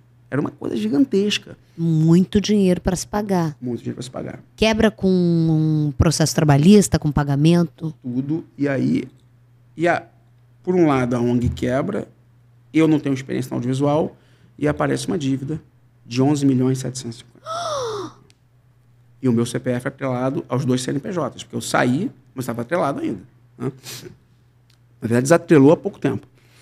Quando tem, quando tem essa, essa história, e, e de queridinho de muita gente, eu virei radioativo. Inclusive da imprensa, me bate, algumas veículos. O próprio Jornal Globo me bateu. Né? O Grupo Globo não me aliviou. Ninguém me aliviou. Hum. Ninguém me aliviou. E é porrada, porrada, porrada, e não sei o quê. E aí saindo nota contra mim, dizendo de, de que o Ministério Público estava me denunciando, não sei o quê, coisa. Porra, só, Dinheiro de ONG e tudo mais. porra, cara, só foda, né, cara? E eu, porra, assim. O que, que eu faço? Volto pra ONG pra tentar resolver? Famosos te viraram a cara? Viraram. Famosos te apoiaram? Não. Não. Quem me apoiou foi Armindo Fraga, foi Guilherme Zatar. Foi o Grupo Globo me apoiou. O Grupo Globo acabou me. Assim, eu tenho muita gratidão pro Grupo Globo, desde o tempo da ONG, e agora eu faço muita coisa pro Globoplay. É. Né? E, Mas agora você é fornecedor. Então, mas aí eu quebro também com o filme que eu estava fazendo, Qual era? a divisão que era filme, depois virou série, depois virou sucesso. Que é a divisão conta a história da DAIS, Exatamente. que acaba com o sequestro no Rio de Janeiro. E aí o que, que acontece, cara? Então, assim, aí me quebro e eu fico mal, sabe assim, pessoas que. A pior coisa pra mim da vida foi um cara que eu tirei do tráfico, ia ser morto, e esse cara me botou na justiça, junto com outras pessoas. Me bo- botar o Afro-Reg na justiça, certas pessoas eu achava normal, porque era trabalhador. Mas o que salvei a vida, o cara não era. Foram mais de um até. Fiquei muito mal, cara. me senti muito traído, muito pisado, muito humilhado. E todo mundo batendo em mim, todo mundo. E pessoas que, sabe, assim, caralho, dei, comprei ca... a gente comprou casa para aquele cara, mano. E o O cara. arcanjo renegado, é aí que nasce? Não, aí o que, acontece? Isso em 17. Ah, Em fevereiro de 2018, eu percebo que eu perdi a minha fé em Deus. Do nada eu senti essa sensação. Quando eu me reconecto com a minha fé, juro pra você, cara. Tudo muda. vira. Tudo vira. muito rápido. Eu me re- Isso foi em fevereiro. Por exemplo, as dívidas da produtora, por causa da divisão, que era 4 milhões e 750, 5 milhões, mais ou menos. Em maio eu já tinha pago tudo. Ah, Entre fevereiro e maio eu levantei 5 milhões. Você fala assim, como? Deus. Assim, não, Deus. virou pastor não agora. tive como. Não, não virei pastor, não, porque, eu tô- Ah. porque Deus não é só da, da igreja evangélica. né? Você tem Deus no candomblé, você tem Deus na, na, no Você no que o diga, né? Exatamente. Então, né? Casa dele, depois, né? Não temos ainda papo. Ah. Então, é, cara, assim, começou o Armínio. Porra, o Armínio botou um Não, eu tô brincando contigo, Não assim, eu sou cancelada O na Armínio- O internet. Armínio botou um milhão Sabe de que reais são seus networks projeto. que foram lá, pessoas Não, que é. E aí, assim, cara, algumas pessoas do, do Grupo Globo, Paulo Marinho, que Hum. hoje é o presidente, na época não era. Filho do Roberto Marinho. Não, filho do Zé Roberto Marinho. Ele é neto do Roberto Ele neto? Ah, neto. hum. Agora a geração. Geração é netos. terceira já. É, é. Hum. E aí o Paulo, o Alberto Pessegueiro, Guilherme Zatar, Alex Medeiros, os caras simplesmente assim, cara. Vamos postar nessa produtora. Aí pega um projeto que era um filme, a gente transforma numa série. Já, já tinha uma ideia de ser série. Que é a divisão. E aí quis o destino que o primeiro grande sucesso nacional do Globoplay tenha sido a divisão. E na época, coincidência ou não, quando ele chegou a um milhão de assinantes. E o, o, o gestor na época era o João Mesquita, ele vira para mim e fala assim, cara, a divisão foi fundamental para esse número aqui. Pra emplacar. É, Aí aí eu você vira uma máquina de fazer produções. mas aí o que streaming. acontece? Eu só perdia para The Good Doctor. Hum. Gente assim, a gente- nacional era a gente. Mas quando ia pro âmbito geral, tinha uma série internacional que... Que, que tava dentro do O que, que mede? Você sabe, né? Não. É quando a assinatura e o primeiro play. Hum. Ah. É isso. Como é que você sabe que é para você? Assinatura, o cara assinou, deu o primeiro play. É ali que mede. É ali o ibope do stream. Um dos, né? Ah, tá. Não sou especialista nisso, mas sei que É isso aí contou sim. muito. Ah. Não, não, não. Depois da divisão vem o quê? Então, aí foi um arcanjo renegado, que aí bate todos os recordes nacional, internacional, aí brinca. Aí começa. Ah, Esse ano, então assim, cara, e, e- e Arcanjo Renegado. E detalhe, é né? A história do Mikael. Conta pras pessoas, né? Deixa eu te contar. é, Como você tenho... faz a escolha do ator? Então, cara, eu faço questão que boa parte do meu elenco, Minha dos meus protagonistas, nunca foram protagonistas, né? É. Meu elenco é preto. Marcelo veio de favela. Marcelo. Silvio Guindani, da divisão, veio de favela, subúrbio, periferia, Baixada Fluminense. Então, assim, tem que ter muito do nosso DNA, né? Marcelo é incrível, né? Que lindo, né? Chora. Deixa eu ver de novo. Tá arrebentando com o Zé Bento aí em Renascer, né? Não, fora sem falar da minha amiga vizinha maravilhosa Dani Suzuki, que rola uma química, Química maluca. total, maravilhosa. Vai Linda trabalhar com a gente em dois. breve de novo. Ah, E aí, assim, cara, aí vem o Arcanjo, que é um- uma comoção. E, assim, mais nível. Vem, aí vamos lá. O que, que eu tenho hoje já? ar? Ah, vamos lá, que, que Três tem? temporadas da divisão. Da divisão. Já gravei a quarta. Já? Já, tá pronto. Ai, meu Deus. Dá um spoiler. O que, que é. Porque a Dais a gente conhece a história. Então, assim, na verdade, vai ter uma história que vai ter uma juíza envolvida que é inspirada numa história real. Ok. Ela não foi sequestrada, um parente. Mas é- não foi, na, na vida real não foi uma juíza. Foi alguém do judiciário. Tá, Tá. É, é uma história foda que vai parar no Paraguai. tá. Tá? Porque a divisão é, é inspirada muito no Dr. Marcos Reimão, Raimão, que, que é o. Zé Luiz Magalhães, que é o Silvinho Mendonça. Sim. O, o, Isso Sil- a gente sabe. o José Luiz Magalhães, né, que o Heron Cordeiro, né, inspirado. É. E o- Inspiração. O, o Luiz Matos, que foi o Telmo, que a gente mata na série, mas está vivo. É, tá vivíssimo. É. E, então, assim, Vem aí a vir a quarta, com quarta. isso.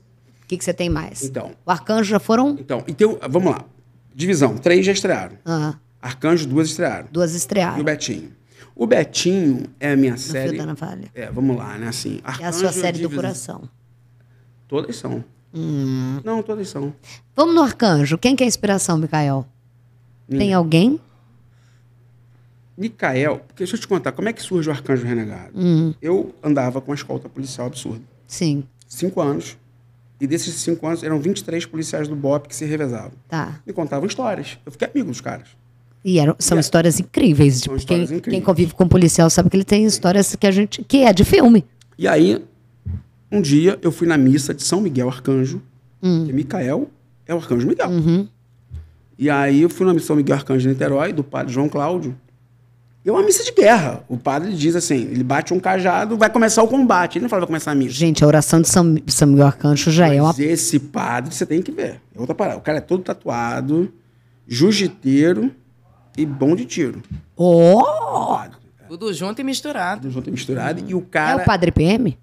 Tem um Padre PM? Não, sabia que tem um capelão, Padre não, PM? Não, sim, mas não é ele não. Ah. Padre João Cláudio. E, e esse cara resgatou o meu sentimento pela Igreja Católica. Dois que resgataram, Papa Francisco e Padre João Cláudio. Hum.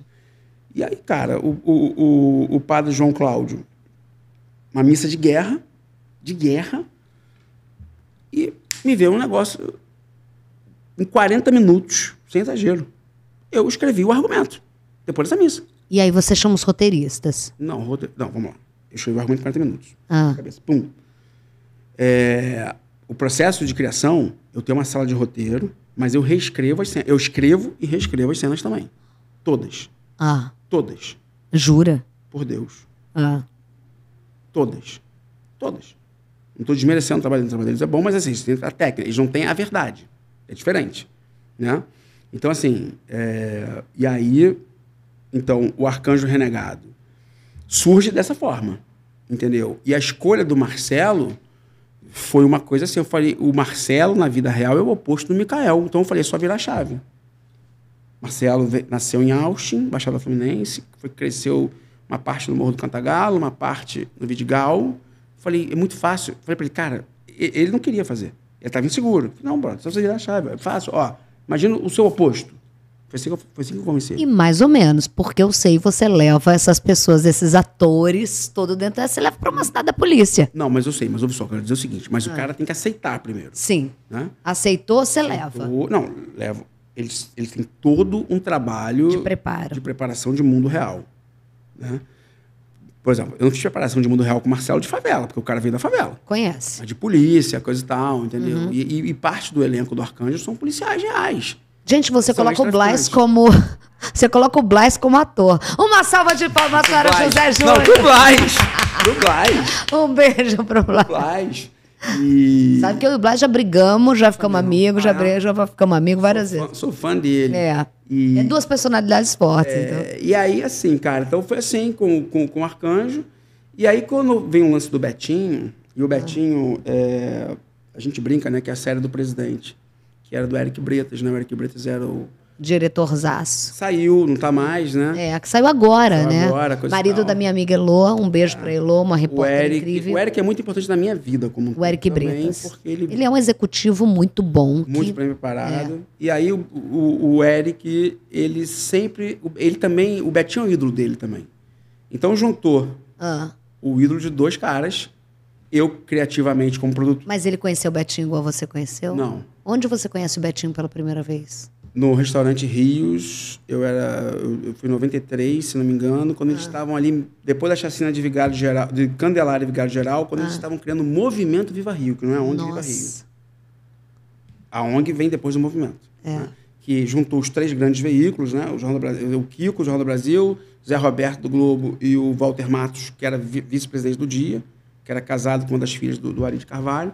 Lembrando, gente, para quem não conhece, o Betinho é o ícone de combate à fome e uma campanha que continua até hoje com o filho dele maravilhoso e que Daniel, morre de AIDS. O Daniel, é um- um Daniel e que e que morre de AIDS, É. mas vai Ele até era hemofílico, Ele era né? hemofílico, fazia transfusão E, e contraiu como m- milhares, de pessoas. né? É. E aí o Betinho, cara, assim, primeira vez que eu tive com ele, depois eu recebi esse convite para poder ir para o Canadá, para palestrar com o Lula. Eu nem sabia que ia palestrar com o Lula, né? Foi quando eu faço conexão lá com o pessoal do Cirque du Soleil, via Genésio Dumont. Hum. E tive com ele algumas vezes e depois eu convidei o Betinho para ser o padrinho da oficina, aquilo que a Regina Casé e o Caetano fizeram. O Betinho fez. Para percussão e para dança, Ah. o Betinho fez para capoeira no ano seguinte, Aham. muito debilitado, e ele vinha morrer em 97. Então o Betinho é o meu ídolo. Eu tenho alguns ídolos, né? E o Eric Bretas também tem isso. Também tinha essa relação de idolatria com o Betinho. E, e aí, quando a gente fala, vamos fazer a história, a gente fez, né? Então, assim, o Betinho, e, e ao mesmo tempo, né, curiosamente, é o Betinho que está me dando um prestígio internacional, nos dando, né? Porque a gente foi para o Festival de Berlim, que é um dos maiores festivais Sim. do mundo. Estamos indo para Cannes agora, estamos concorrendo em seis categorias. Sim. É a primeira vez que uma série brasileira vai concorrer no, no, no Cannes Series, né? É, e também, assim, é uma, é uma... Qual era a minha motivação para fazer o Betinho? Qual? resgatar a imagem do nosso herói para as novas gerações, porque eu conversando com o Daniel, o Daniel é, é- também faz, é produtor associado, eu falei assim, Daniel, tu tem que trazer, cara, a imagem do teu pai de volta. Isso em 2016.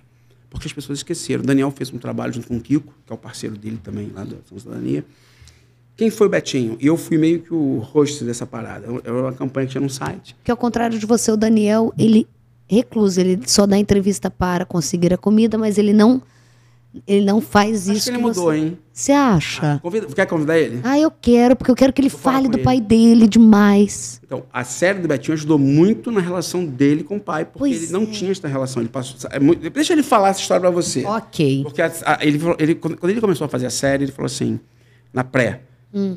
anos de terapia, eu não resolvi com meu pai, estou me resolvendo agora. Na série. Na série. Que louco. Deixa ele te contar. Tá. E aí o que, que acontece? Então, é, o- tá, tá dando uma projeção pra gente, porque também é o seguinte, né, cara? Todo mundo achou assim, porra, o Júnior sabe fazer tiro, porrada de bomba É. e preto. Isso. Tinha uma série branca. É. Né? E Que com- não tem tiro, porrada e bomba, tem amor e dedicação. Só que é o seguinte: as pessoas falam assim, é, é, Betinho não tem violência. Porra, Betinho é a minha série mais violenta. Por quê? Quer uma violência maior do que da fome? Ai, Do que de contrair AIDS em banco de sangue? Ué, que porrada, hein? né?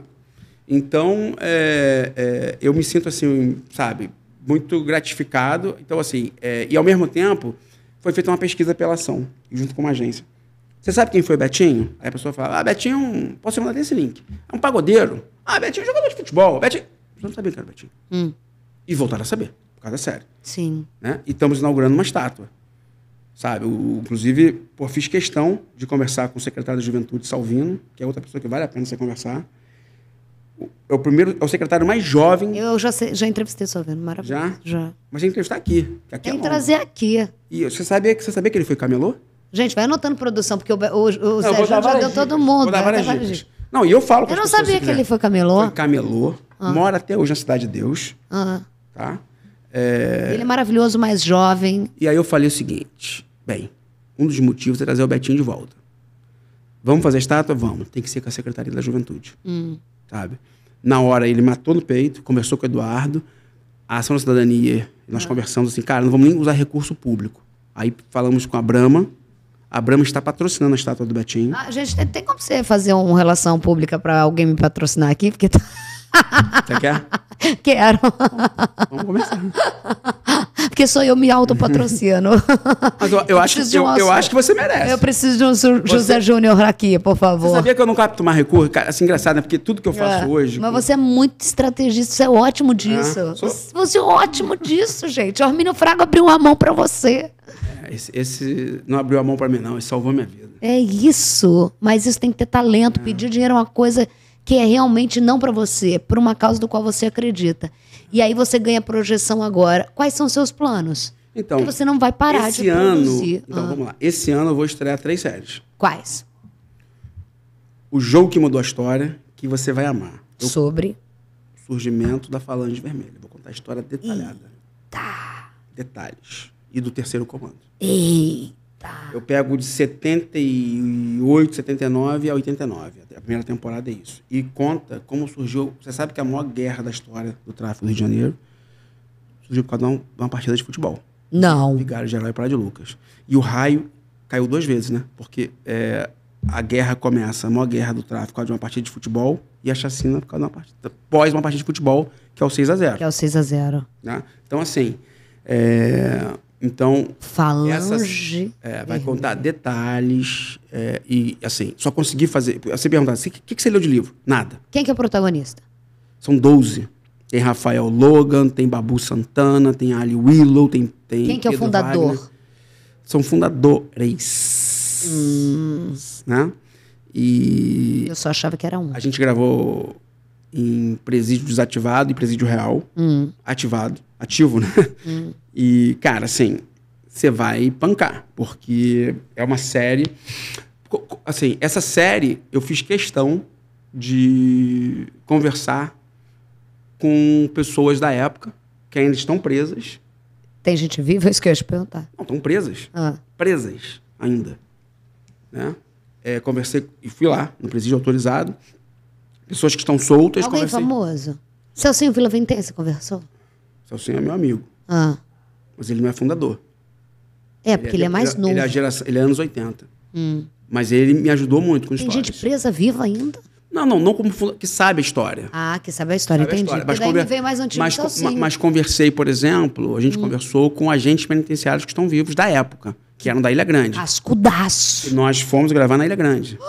né? E fizemos um trabalho, Isabelle, que é o seguinte, né? A gente gravou a fachada que está de pé ainda, Ah. Da- lá em Ilha Grande ainda tá? grande, e reconstruímos o presídio inteiro em 3D. Por trás? Em 3D. Ah, meu Deus. Eu não imagino como tá aquele lugar. Não, tá abandonado, mas a gente Nossa, reconstruiu em dar 3D. arrepio. Ah. né? É, então, assim, é, um- é uma série que vai gerar uma discussão muito grande. Né? É O uma- nome dela, o jogo que mudou a história. o jogo que mudou a história. Mais Aí outra estreia. É, Arcanjo Renegado, terceira temporada. Ah, o que que vem? Então, vários vídeos do Arcanjo, se você deve lembrar, que viralizaram como se fossem reais, aí até o ministro. Pois Flávio é, Dino gente. teve que se pronunciar. Não, isso É, aqui não, isso daqui é, sério, grava. É, isso. Cara, vai. É é uma. Essa temporada é a maior temporada de todas. E eu brinco um pouco. A gente brinca, né? O, a Globoplay até batizou como Afroverso. Antes eu chamava de eh, Marvel Favela. Ah, Porque eu pego todos os nossos personagens, todas as séries e boto na terceira temporada. Então você vai ter o Mendonça, ah, porque o- é, o Mendonça, que é o Silvio Guindani, ah. 30 anos depois. Ou seja, a gente usa o mesmo ator envelhecido. Porque a 10, lembrando, Ah. os 90 dormiu. Vem aqui. 20 e poucos anos depois. É. Não, então, a gente usa o mesmo ator caracterizado, Sim. né? Eu mais entendi velho. a Marvel agora. Então, por exemplo, é, a brincadeira é essa. né? Então eu peguei todos os nossos. Só não tem o Betinho. Ah. Mas todas as séries que eu fiz, inclusive as que não estrearam ainda. Praticamente você chamou o Carlos Jesus, mandou caracterizar uma comissão de frente da Mangueira de 2000. Mas a gente tem um time de, de, de caracterização maravilhoso. Maravilhoso, produtora Então- maravilhosa. Tem um arcanjo e vamos lançar a série da Vida do Belo, né? Gente, Essa aí eu vou te contar. Eu- essa, não quero parecer arrogante, não, mas essa já é um hit. Sem nem ter começado a gravar ainda. Mas e vai lançar esse ano. Grave esse ano, lança esse ano. É um pedido da Tatiana Costa, né? Que é a nossa comandante lá no Globoplay. Junto com o Belmar. Belmar tá acima, mas a Tatiana... é Como que o Belo aceitou? Foi o contrário. Ele queria. Foi ele que me pediu pra fazer. Porque ele quer contar a história da versão dele. Na verdade é o seguinte, eu tô lançando o Belo como ator, né? Sim, vamos falar sobre isso, porque a imagem, você solta aquela foto do Belo se preparando com a polícia civil. Você viu o vídeo? Eu vi.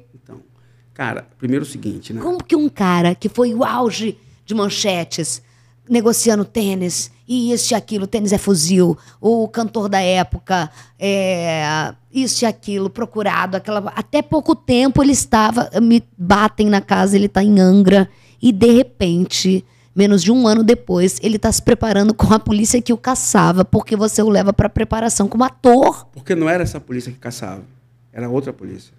Essa geração, por exemplo, Dr. Carlos, Dr. Carlos Oliveira, Ah. Dr. Pedro Medina, Dr. Marcos Amin, receberam o Belo é, de braços. Felipe Cury, Doutor Felipe Cury. braços abertos. Assim, eles, ele- assim, eu estou falando de quatro delegados que eu conheço razoavelmente bem. Não, Oliveira eu conheço muito. Hum. Sou amigo do Oliveira, respeito o Oliveira. E também foi injustiçado. Para mim foi injustiçado também. Você sabe a história É, Porque dele. sei a história dele, Carlos Oliveira sai, é julgado e tal, e depois é retomado a polícia. É. E, e assim, cara, é, não foram esses caras que prejudicaram o Belo. Hum. Foi a polícia, mas não foram eles. Então, pelo contrário, eles tiveram um olhar muito parceiro, muito respeitoso. O Belo chorou, o Belo se emocionou. Não, eu tô quase chorando porque assim, eu quero ter que te falar. O Be- Belo, o poeta do meu coração. Traz ele aqui. Eu falei, Não, eu já sei, ele tá prometendo há um tempão, Não, não, é? Belo- Ele tá muito ocupado. O Belo é uma pessoa que tem palavra. Maravilhosa, ele tem palavra, eu adoro o Belo. com adoro. ele. O Belo, o Belo, assim, o que que acontece? Mas eu acho que ele tá meio assim por causa dessa história da série. Assim, eu já entrevistei. Ele falou que tá com muita coisa pra fazer. Não, ele tá, agora, nesse momento, ele tá com muita coisa do Soeto, né? É. Ah. A turnê de 30 anos, 30 shows. Ele e o Denilson fa- Já pagou, já. Já pagou a já treta. pagou, é. Então, assim, o Belo é uma pessoa assim. O Belo, ele. ele... O Belo é uma pessoa maravilhosa. Mas estamos falando. De, a gente tá falando. Do- a gente não tá nem. Ele é um dos maiores artistas.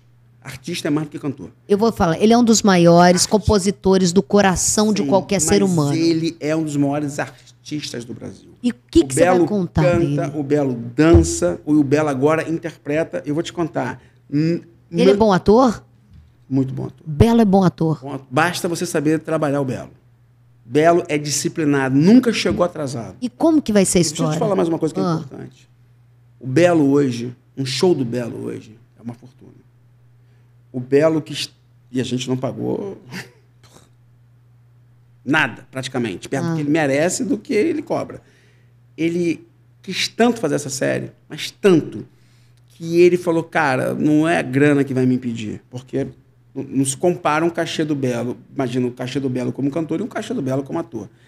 E é um cara disciplinado, correto, digno, amigo, parceiro, humilde, Muito. atendia todo mundo.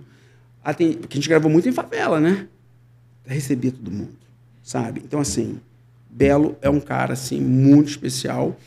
E, e o Belo acabou sendo meu, assim, vou dizer, quase que meu cupido com a Érica também. Aí eu chego, o Belo Tudão. Esse é o apelido do Belo.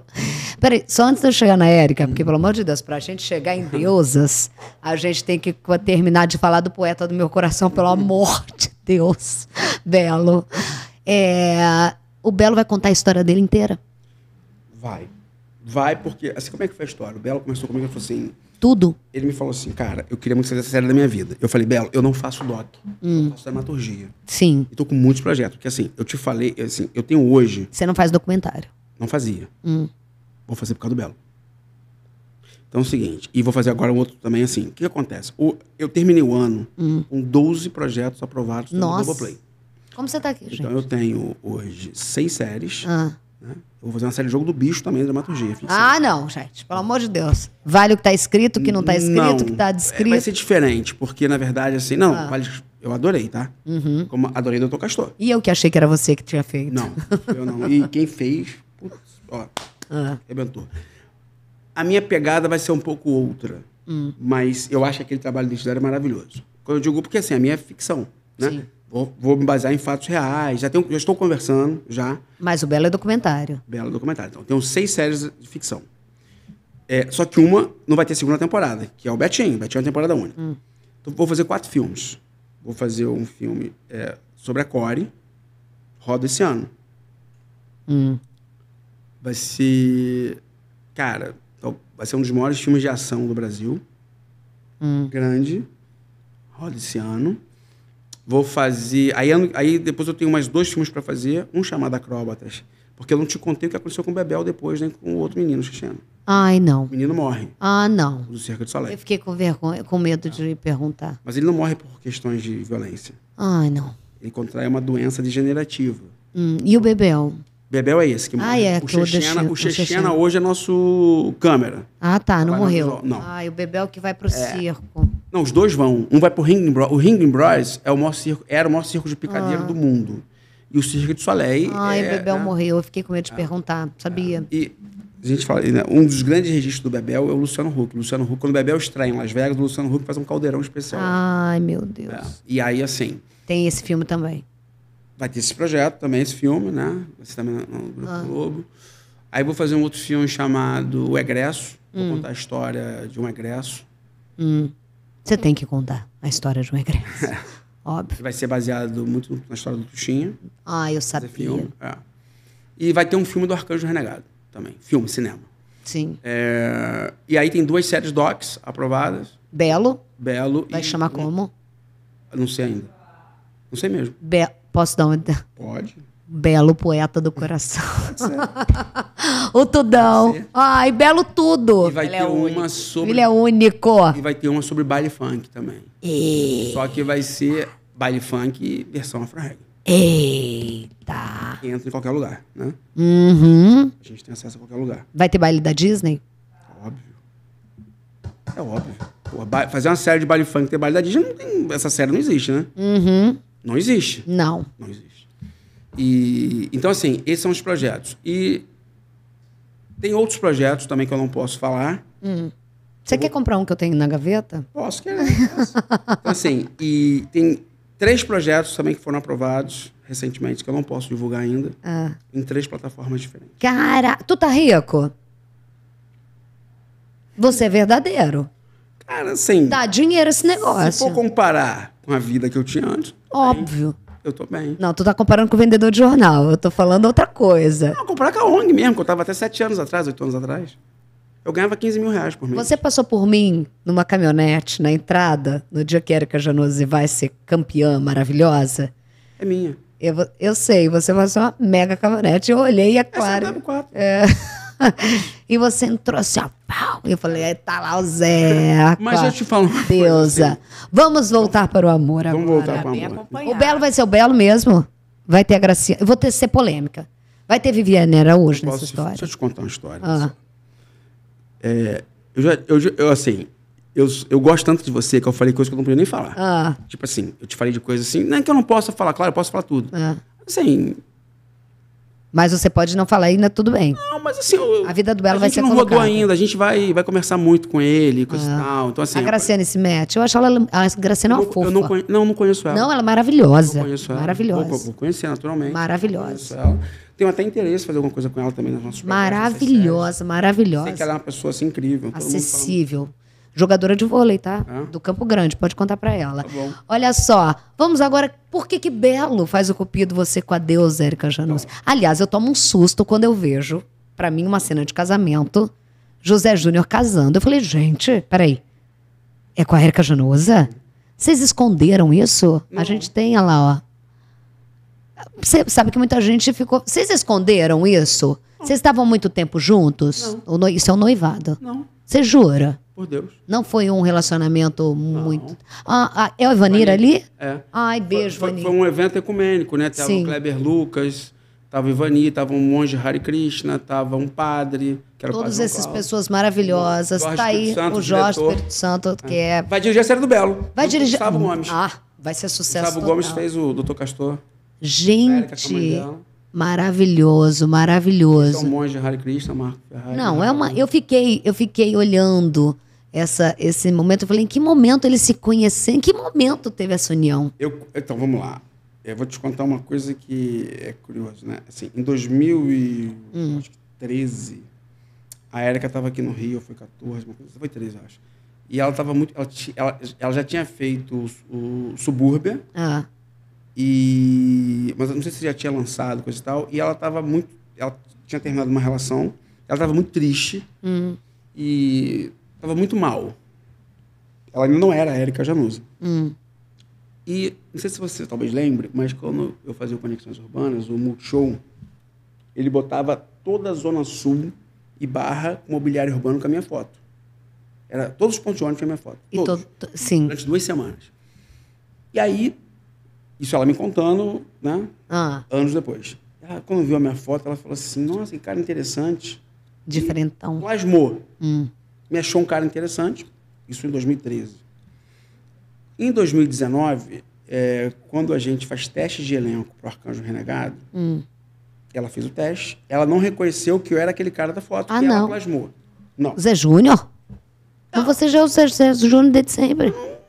Ela Não não. conectou. Ah, Ela passa no teste, coisa e tal, e a gente fica. Eu, ela e o Marcelo Melo Júnior, e o Alan Facó, e alguns atores. Passa né? muito tempo Guedes, É, o, o- Leonardo Brice, assim, a gente ficou muito amigo. E eu viro, e, a gente, e, eu, e ela vira uma grande amiga, eu viro um grande amigo. hum, Não, sem, sem contato. hum, tá Sem bom. contato. Ok, eu tô acreditando. Vou mentir. Eu quero o Belo nessa história, porque o Belo pra aí, mim é que dá o chachada. Aí quando a gente lançou o Arcanjo 2020, coisa e tal, Ah, e vem a pandemia, e a gente começa a conversar muito ao telefone, e ela, assim, muito preocupada com a carreira dela, com o negócio de pandemia, família dela em Minas, coisa e tal, muito pelo telefone. Ela começa a se relacionar com uma pessoa que é bem mais nova do que ela. Ela me pergunta o que eu achava. Eu ah, meu Deus, eu você o conselheiro amoroso da sua noiva. Não era noiva. Eu sei, mas agora eu noiva. tô juntando, já tô ficando nervosa. Pô, e ela. A Leonina aqui já tá- assim, eu era amigo dela. E Ah. eu falei, não, você tem que ficar. Coisa tal. Não tinha nenhuma intenção com ela, nem ela comigo. Mesmo, a gente era amigo. Ela. Aí, 2000. Depois, assim, ela se separou. E a gente teve uma conversa. E ela me falou coisas que nenhuma mulher nunca me falou com relação a mim. E aquilo mexeu comigo, né? Mas a gente não ficou. Assim, eu fiquei com aquilo na cabeça que ela me falou, coisa e tal. E mexeu bastante comigo. Passou um tempo, eu percebi que eu estava apaixonado por ela, mas eu também não quis, eu não quis misturar. Porque uma pessoa na minha posição É, tem que pensar nisso, assim. no mundo de hoje é É difícil. muita gente, Ah. é muita mulher em contato. Eu não posso misturar as coisas assim. Você sempre esteve rodeado de mulheres muito gatas, né? Você também não pode fazer o anjo com esse seu corpício malhado de 55 anos, que essas suas argolas eternas, pare de fazer o som, isso aqui. Você pegou muita famosa antes? Bebeu até a água. Gente, ele bebeu até. Gente, ele. To... Para, tá bom, ok. Voltamos pra Érica, que é a mulher da tua vida. E aí, e aí eu começo a entrar num processo meu comigo mesmo de me desintoxicar no aspecto de, não, não uso droga. De glamour, de. Não, um dia assim eu falei, cara, eu tenho que me eu encontrei a mulher da minha vida. E eu tenho que me preparar para isso. Ai, que coisa linda. Eu me preparar em que sentido? É, como eu estava solteiro e, cara, assim, tinha muitas questões minhas, né? Então eu falei, cara, eu tenho que me preparar. Porque eu vou ter que ser fiel, eu vou ter que não sei o quê, eu vou ter que, né? Porque Eu tenho vida de solteiro. Eu era, era solteiro. Hum. E aí eu falei, tem que me preparar, e, e fui me preparando, até que um dia, dia 13 de maio de 2023, 13 de maio é uma data Dia importante. Nacional de Fátima. Para mim, é Dia Nacional de Fátima, eu não conto a história da abolição. Não? Dia Nacional de Fátima, Ótimo. é minha santa. É, a gente se encontra para ela me mostrar a obra da casa dela Hum, e a gente fica. hum. A gente fica e, e ela, assim, a gente começa a ficar. Só que a gente, assim, de novo, são duas pessoas que já tinham uma afinidade absurda. Sim, já conviviam. Ah. Eu convivia mais ou menos, assim, porque só quando tinha relação, mas, mas já tinha uma. A gente já tinha uma. ela- a Érica, desde que me conheceu, uma vez por mês, a gente, quando quando não estava gravando, é, JJ, como é que você tá? Sempre. Sempre foi preocupada comigo, sempre foi carinhosa comigo. Não tinha, não tinha, não tinha interesse. Ela, quando a gente fica, ela descobre que eu sou aquele cara. Ela não, tinha se ligado. Do outdoor, do... Conexões urbanas. Hum, E aí ela, aí ela me conta essa história, que ela plas- a gente brinca, né? Que ela plasmou no universo. hum. E a coisa acabou. Ai, gente, vamos começar a jogar tudo pro universo. E que hora que E o Belo aconteceu. vem como aí- cupido? Não, o Belo vem é o seguinte, quando a gente não assume o namoro, Ah, o Belo grava um vídeo. Eu até posso mandar esse vídeo depois, você quer? eu quero pra gente botar na edição. Manda, manda. Puta, me lembra que eu Ah. pede pra mandar mensagem que eu mando. Alcilene. Ele vira e fala assim: olha, eu não sei. E ele não sabia mesmo. Eu não sei que. Ele grava um vídeo, eu não sei quem você é. Eu não sei o que que você fez com meu amigo, mas ele tá apaixonado e eu conheço ele há mais de, sei lá, 20 anos Ah. e nunca vi ele apaixonado por ninguém. Eu tô passando aqui, ó, só pra confessar uma coisa, que é o seguinte: meu amigo, meu irmão, meu diretor, meu mentor, meu guru de vida, JJ, José Júnior, nunca vi ele dessa forma. Apaixonado, vivendo um momento assim ímpar da vida dele. Olha, eu não sei teu nome, e não sei quem você é, mas sei que ele tá te amando demais. Eu já me apaixonei. Ah, Mas ele nunca vi. E ele faz toda uma, uma fala e ele não sabia que era ela. E a Érica é apaixonada pelo Belo e o Belo ama a Érica. Eles são muito parceiros. Assim, a, Érica é fã do Belo há, às vezes, um trilhão. eu entendo a Érica. Quem é fã do Belo, só de você falar, eu já tô. Já É. E aí, e aí, cara, e, e aí assim, e a gente começa a conviver junto, porque o Belo tá gravando o Arcanjo também. Aham. E aí, e ele, na frente, e era um segredo, né? Ninguém sabia, porque a Érica, a Érica tinha muito receio das pessoas que a gente estava gravando, saber que a gente estava junto e de alguma forma, ela tinha um receio dela. E aí o Belo falava assim, cara, ele me chama assim de meu showrunner, né? Showrunner, para quem não sabe, é criador e produtor. É um termo de Hollywood. Meu showrunner, quem é essa mulher? E ela do lado. Não sei o quê. Érica, ele tá apaixonado pela mulher, não sei o quê, ele não fala quem é. E aí ela. Sabe? Então, isso, isso foi um segredo, mas não tem um ano que a gente tá junto. Não tem. Não tem um ano. a gente E aí, essa força toda, esse noivado Vem uma todo. história, e aí assim, e a Érica, ela tem aquela. Ela, ela tem um lado muito conservador. No sentido. Por isso você se preparou, né, amigo? Você entendeu. Eu entendi seu recado pra você assumir a mulher. conservador, não esse conservadorismo que a gente está falando. Não, essa coisa direita, é nada disso. insuportável. Ah. Ela, ela é muito católica, ela tem essa coisa né, de, de namorar. Eu tive que falar com a mãe dela. Ela exigiu que eu falasse com a mãe dela. E vamos trabalhar que você trabalhou a monogamia. É isso. É isso. Você falou isso aqui. Pra ficar com a Érica, você se preparou que você estava na vida de solteiro. Preciso ser fiel. Preciso isso. É, você sabia o que ela queria. Sabia, sabia. E aí vocês estão noivos. Então, aí a gente resolve ficar noivo. A Hum. gente fica noivo no dia 7 de setembro. E aí eu virei pra ela e falei assim, porque o que acontece? Eu virei pra ela e falei assim, Érica, a gente tem que... é, já que você... ah, ela... Não vou dizer que ela fez questão, eu também quis. Mas eu falei, já que a gente vai fazer já que a gente vai ficar noivo, eu tenho que fazer uma coisa, a gente tem que fazer uma coisa ecumênica. Porque ela falou pra mim que ela queria casar numa igreja tradicional, católica. Eu falei, então vamos fazer o seguinte, então vamos fazer o seguinte, o casamento é teu, mas o Hum. Mas noivado o é meu. é meu. É. Aí você no trouxe sentido- todo mundo. Aí eu trouxe o meu astrólogo, que também é alquimista. Inclusive, assim, você tem uma noção. Vou, acaba aqui, Hum. faço uma mapa astral hoje. Eu faço uma astral uma vez por mês Hum. com ele. Eu não quero que ele ande muito pra frente. Então, assim, esse aqui é o Kleber Lucas, né? Que é um cantor Ah. Sim. famosíssimo. Lindo. Pastor. Pastor. Tá o padre João Cláudio, do São Miguel Arcanjo, né, da missa que eu te falei. Ah, esse é o padre. Padre, Ah, é. Ali é o monge Hare Krishna Mahaprabhu. Sim. O meu, o meu astrólogo, que, que também... Depois você me passa o telefone dele. Ok, ah, segue Não, bate tudo, tá? Ah, você me passa o telefone dele. Ah. E aí, assim, é... e o Babalaô, que não apareceu nessa cena, Que é o mas Ivanir. não apareceu antes, é, que é o Ivanir.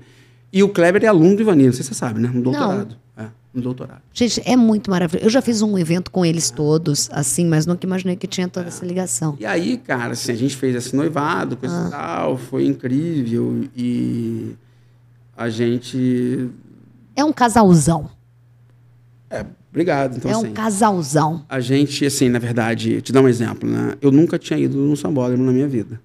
Nunca. Foi a primeira vez que. eu- Olha só, du- outra primeira vez, né? Primeira vez aqui, eu fui no estúdio de podcast, primeira vez que você, você me viu duas Ah. Eu vezes. a te vi entrando no sambódromo. Nunca tinha ido na vida. Aquele momento que eu tive. E aí tem essa. É. E eu vou na lateral, porque ela, ela me pediu pra ir na lateral com ela, que é a equipe dela, né?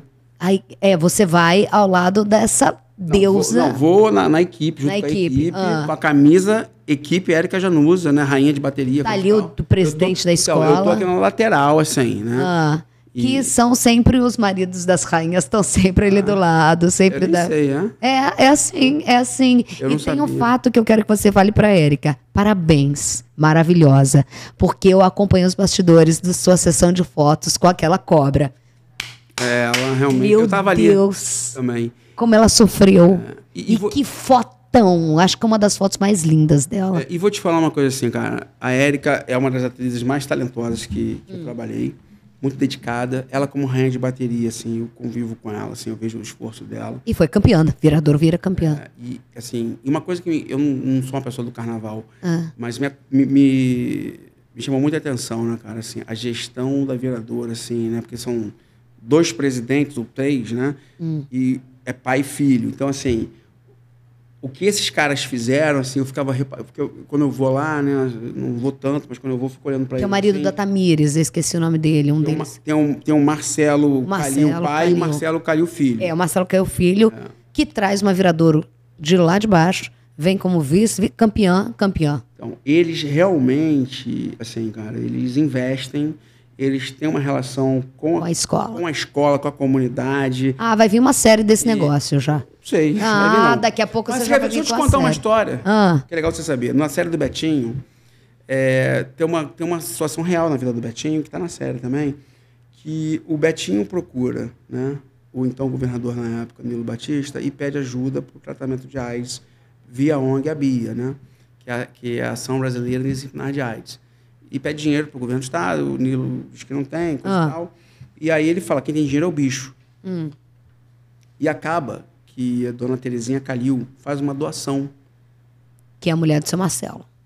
A mãe dele. É A o, mãe do Marcelo. o Marcelo pai. Ah, a mãe do Marcelo. Então é o pai. seguinte, e- essa família, Ah, ela tem uma relação com o social. Antes. Ela tem, antes do, deles. O pai dele já tinha, a mãe dele já tinha. Entendeu? A, a, inclusive, uma vez eu estava conversando com o cineasta Sérgio Rezende, Aham. diretor de cinema Sérgio Rezende, ele me falou que faltava um dinheiro para acabar o filme dele, Homem da Capa Preta, que foi a dona Terezinha Calil que doou o nossa, sua vida vai se amarrando em tudo, hein? A gente chegou no Sambódromo, com a Érica, vai no, Ma- no Marcelo Calil, Então, presidente da assim, vereadora. Não, então, eu, eu não, não sou muito próximo deles, Ah. mas assim, eu fico olhando, né, cara? Esses caras são de verdade, sabe? Ah, E, e a Érica, assim, né, cara? A Érica é a mulher que eu amo, que eu espero, que eu espero envelhecer ao lado dela. coisa linda, maravilhosa. Quem não queria estar, né? Tá, A Érica é uma deusa, né? Só uma última pergunta sobre a Érica. É tranquilo se você vê-la beijando alguém em cena? Se eu que escrevo as minhas séries tem cenas de sexo com ela. É isso, maravilhoso. Tá certo. É sobre tô- isso que é um homem. Um Não, homem eu- muito bem formado. Olha, eu vou te contar o seguinte, cara. assim, Ah. eu, eu, eu tenho certeza Ah, que não só a Érica, a Érica principalmente, Ah. né, que eu convivo, mas também muito. Tá na hora das, dos atores e atrizes negras terem mais protagonismo. é sobre isso. É, então, assim, eu, eu tenho certeza assim, que a Érica, independente de mim, tá? Ela vai muito além. Ela, não, ela fez o caminho certo. Ela arrumou o amor da vida, mas ela se firmou, Érica Januza, antes disso. Perfeitamente. Mu- Vamos lá, agora, mudinhas da Belle, porque a gente fala pouco, entendeu?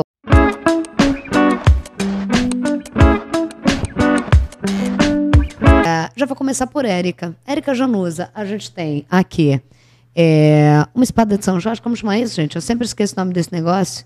Eu sempre esqueço o nome desse, desse negócio. Lembra de Jorge Tadeu? Você não vai falar aqui, porque teve gente jovem aqui que falou que não lembra de Jorge Tadeu. Eu lembro, pedra sobre pedra. É, exatamente. Virava uma borboleta. Isso daqui traz um chachado. Aqui a gente tem é, um cacto, que é aquele que reserva água, tá sempre lá pronto para te atender se no desespero, mas se você chegar muito perto, vai te espetar. A gente tem uma rosa do deserto que está nascendo ali, maravilhosa. A gente tem aqui espada de São Jorge, que você conhece. Árvore da fortuna. E a única coisa fake aqui é que tem a ruda, a fake é a rosinha, porque rosa não tá ficando muito bem. Eu queria ter uma rosinha para você aqui, tá? Érica Janus é quem? Você falou que aquela ali é a flor do deserto? É uma única rosa perfeita. Ela é a flor do deserto. Eu sabia que você ia falar dela. Roberta Rodrigues. porra, uma atriz fenomenal, maravilhosa, protagonista da, da série Verônica, que a gente vai lançando que vem. É, conheci a Roberta, ela tinha 15 anos, 16 anos, é uma pessoa que eu acompanho há muitos anos também. Afro Reg e Nós do Morro são, são ONGs co-irmãs. Exatamente, que vem Thiago Martins, tudo aquele povo maravilhoso. Mas, curiosamente, as duas pessoas que eu tinha mais contato no Nós do Morro, ao longo de 30 anos de parceria, sempre foi o Gucci e a Roberta. Jura? Gucci Fraga, fundadora é a Roberta. A Roberta sempre foi em tudo do Afro Reg, seja evento no presídio de Bangu, Roberta ia, show na favela, tudo. Ela é maravilhosa. Ela é. Maravilhosa. E- e de um talento, assim. Érica Januza e também a Roberta estão convidados, protagonismo negro, por favor, aqui com a mulherada. Eu vou falar agora um que eu não ia falar, Mina Fraga. O que, que tem? Quem é? Óbvio, Eu, aí você tem que. porque- a árvore da fortuna. Árvore da Fortuna. Só falei pra gente rir, porque você falou que ele salvou e trouxe ali. Salvou, mas assim, o Arminio é mais do que um homem. Fraga. Ele é mais do que um homem rico. Ele é o quê? É um grande ser humano. É uma pessoa incrível. Que Tem uma legal. esposa incrível, tem filhos incríveis, tem uma família assim. Ele. ele é... Pena que ele é muito reservado. Ele é Por isso a gente não conhece. Acha que é só ele aquele ele cara da pessoa- economia. ele, ele é uma pessoa que, por exemplo, você que é uma pessoa muito. Você é uma pessoa muito da linguagem popular. Uhum. Ele precisava começar a, a, a ser sabatinado, não por, por- não, não desmerecendo os jornalistas do valor econômico, da exame.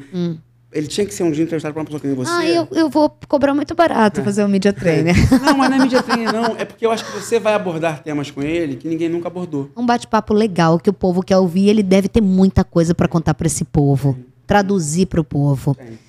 Afro-reg, qual seria a planta? Tem que repetir os nomes que eu não guardei. Ah, tem o Jorge Tadeu da vida aqui. Espada de São Jorge. Espada de São Jorge. Marcelo. Melo Júnior? É. Tá, ele. Qual, qual o nome dessa pessoa? O Jorge Tadeu, Jorge Antônio. Tadeu, Não, Total. Tá, Da vida real. Da vida real, né? A gente lembra dele na Se- cena se da tiver- sacada do Fazano. Se tiver, se tiver uma ver- nova versão de Pedra sobre Pedra. Ele tem que ser faria o Jorge Tadeu. A gente lembra das cenas lindas também que não foram gravadas por você dele no, no, no- Hotel Mas, ó, Fazano. É um talento, é uma Maravilhoso. potência. Incrível. Vamos rodar dedo na cara.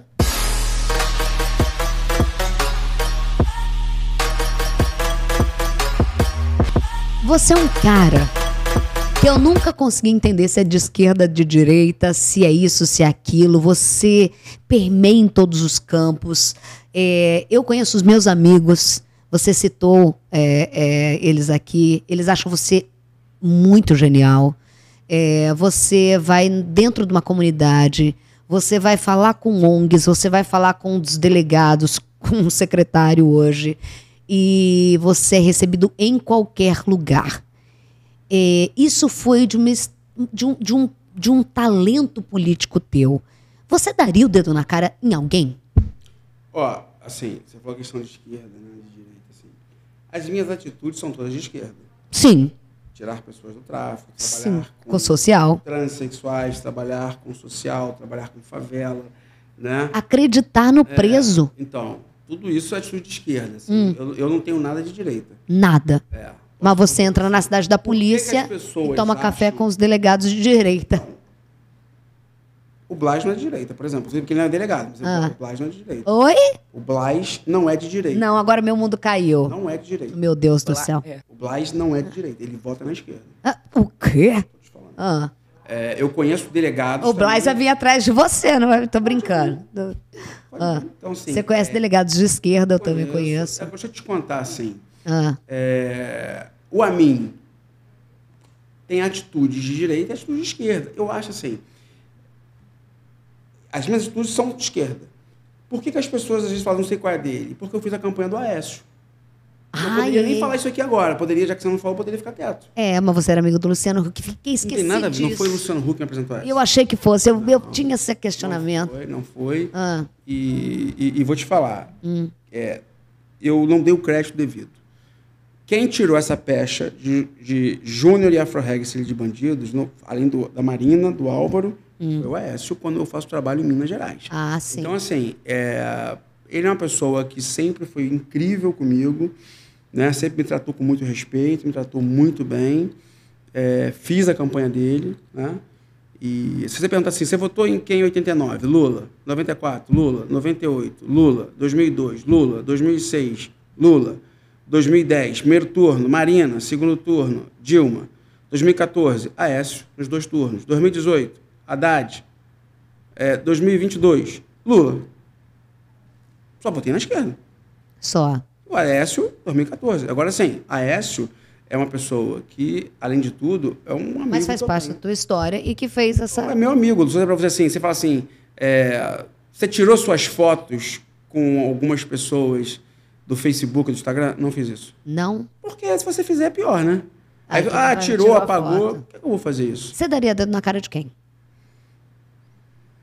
No momento atual da minha vida, é, talvez de ninguém, porque é, assim, a Érica, ela talvez tenha me ajudado muito num, na minha evolução. A Érica e meus filhos me ajudaram muito na minha evolução. Para não ser tão. Então, assim, cara, eu sou algum Xangô, né? Meus orixás são. Eu não tenho orixá feminino, eu sou masculino, então eu sou algum Xangô. Eu sou Shiva, eu sou São Miguel Arcanjo, eu tenho Senhora de Fátima. Então, assim, é, eu sou uma pessoa de combate, né? Então, é. é Ai, gente, manda a Érica pra minha vida, porque eu dou dedo na cara de todo é, mundo, então, eu preciso ma- tomar. manda mas- ela ser minha mas- amiga. Mas, olha só, mas você Ah, tem que fazer isso. Porque senão você não é você. Eu também fazia isso, mas agora, assim. eu- assim, cara, eu poderia falar mal aqui, eu poderia falar mal de várias pessoas que eu não gosto. Mas, O que eu vou fazer? Sabe pra assim? que dá palco, né? É, mas assim, tipo, cara. Não vai- a energia não vai ser boa. Ó, assim, assim, cara, eu tô indo viajar com a Erika segunda-feira agora. Vai pra onde? Aquela que fazia, Deixa vai ela, de- ela vai postar. Ah, É, porque tem umas coisas aí. Aí vou- Ela vai pra, a gente vai pra França também, ela vai pra Hum. Cannes comigo, coisa e tal. Então, assim, é, você tem uma noção, eu não queria ir pro Festival de Berlim. por quê? Porque eu sou caseiro e a Erika me obrigou a ir. Você é caseiro? Sou caseiro em extremo.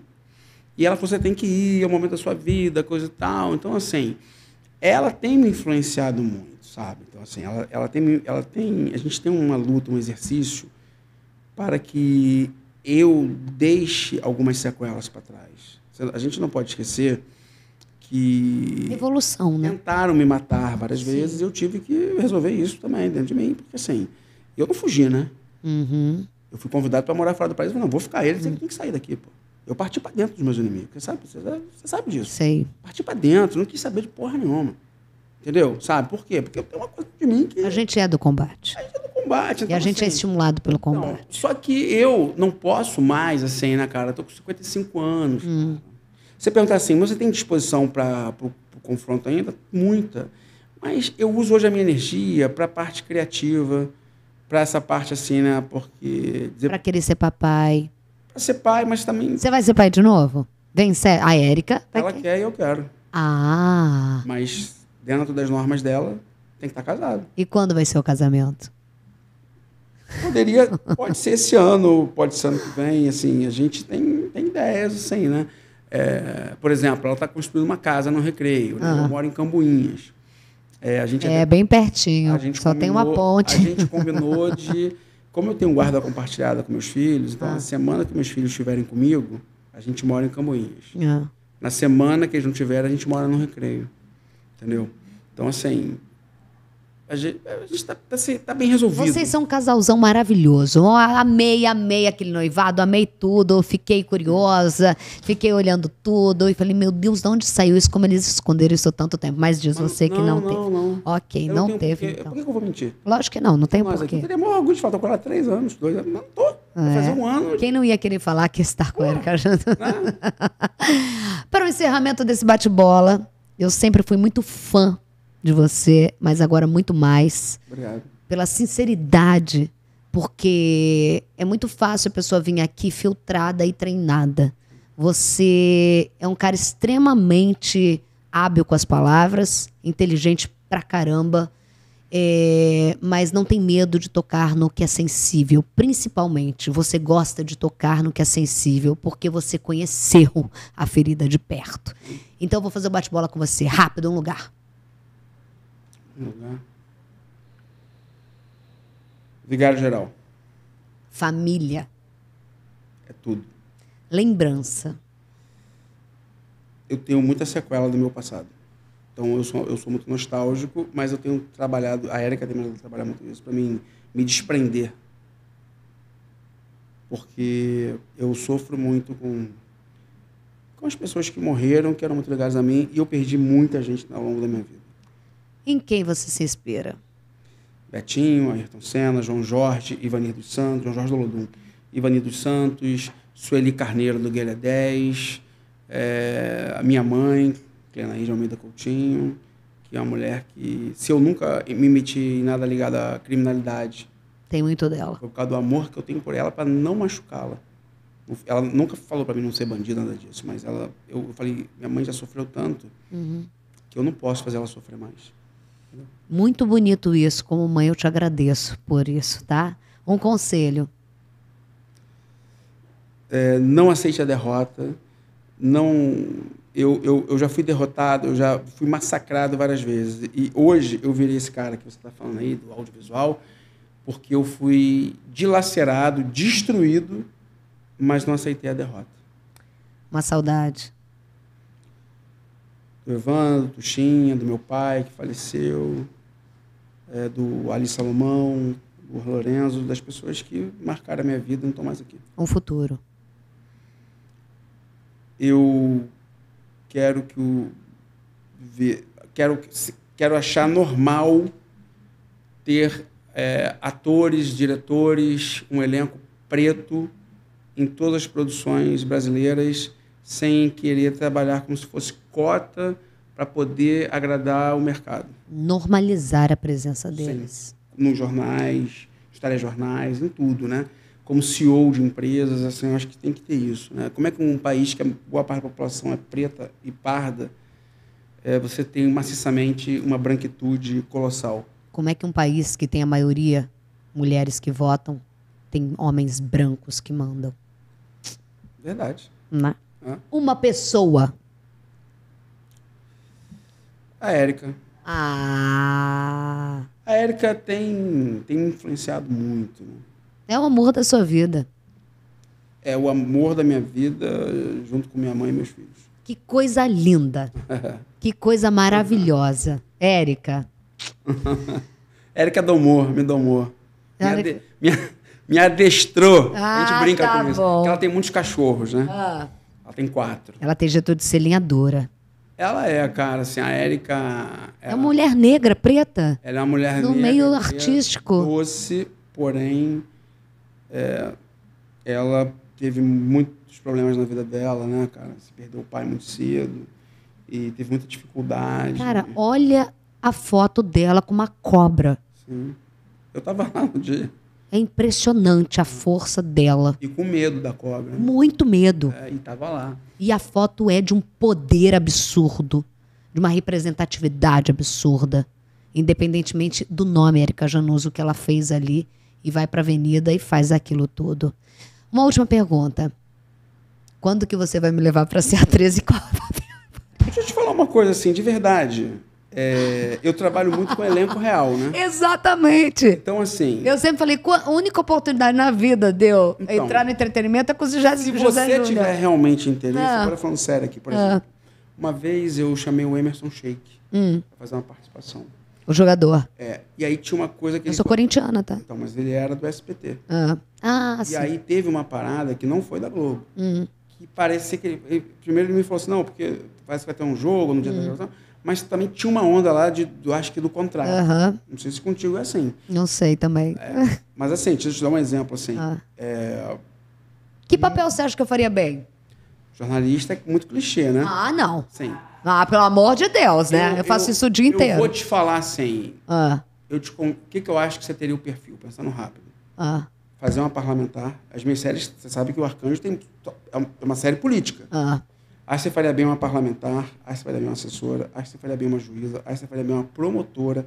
A série que a Roberta Rodrigues é protagonista é uma série de advogadas. Acho que você faria bem. É, acho que você, assim, faria bem uma delegada. Todo Muito mundo fala bem, isso. Muito bem, muito bem uma delegada. Porque eu acho que você, no caso de delegada, só precisaria fazer laboratório é, é, com a questão tática. Não com a questão de imersão em delegacia, Não. né? Porque eu acho que você já convive muito, coisa e tal. E se precisar, você tem os melhores professores, que são pessoas que você se relaciona, né? Então, assim, é, eu acho que você faria muito bem. Assim, tudo que eu falei, não acho que você faria bem. Acho que você faria muito bem. É, claro que como juíza, como promotora, teria que ter todo uma... Porque a gente trabalha muito fazendo, né, tendo, tendo os coaches, né? Tem a preparação Sim. dramatúrgica, mas tem a preparação técnica também. Acho que você faria muito, muito bem. E, e você tem uma coisa, né? Que você... você assim, as suas participações, você fala com o povo. É, é Você, isso assim, você sabe o que o povo quer ouvir. Né? É, até quando você dá uma notícia trágica, né? eu acho assim, nem digo que você pensa porque não tem tempo, mas dentro do teu, né, do teu registro, tu já sabe como é que tu vai colocar, coisa e tal. Né? Eu conheço muitos jornalistas de outras, né, que de outros canais que não são do SBT, que te acham melhor apresentadora de telejornal regional. Meu Deus do céu. Não, tô falando sério, não tô fazendo pra te agradar, não. Eu imagino, Eu já você não ouvi falaria isso nunca. muito. Não, tô te falando, já ouvi. É, não desmerecendo os demais, mas você tem uma coisa. É porque assim, eu não sei a tua história, mas você tem um jeito suburbano. Eu sou suburbano também. Ah. Então, essa coisa do subúrbio é o Rio de Janeiro. Né? O Rio de Janeiro, claro que tem a Zona Sul, mas não é a Zona Sul. É a alma carioca. É, cara. Então, assim, né? Você pega, por exemplo, Eduardo Paes. Eu nem sei onde ele nasceu, mas ele tem uma alma suburbana. Tem. Você pensa no carioca, é o, pensa. é o Eduardo, né, cara? O Eduardo é o Zé Carioca, né, cara? O Zé Carioca. E tô elogiando ele, né? Aham. né? O Eduardo tem muito, tem, tem muito disso. Então, assim, eu acho que você tem esse lado teu que, cara, assim, você consegue, né? Você tem facilidade. Então, por exemplo, se você um dia a ser candidata, tô falando boa. Pô, tu teria voto pra caralho. Porque, porra, assim, tipo, tu sabe, tu tá- tu- primeiro tu conhece.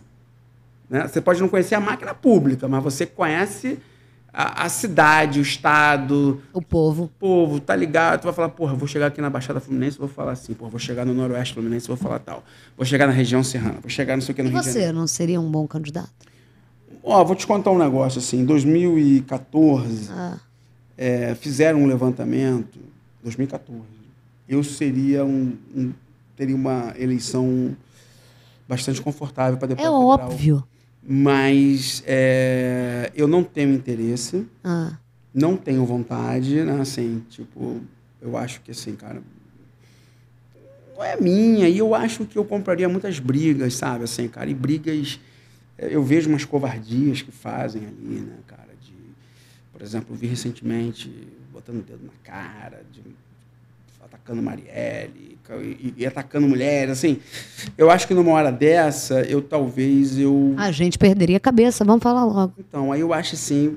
O decoro ia pro saco. Aí, aí o, o- eu- ia virar o errado. Uhum. Né? E, e assim, e não é nem porque eu. eu, eu é outra coisa, é, uma das últimas entrevistas dela foi para mim.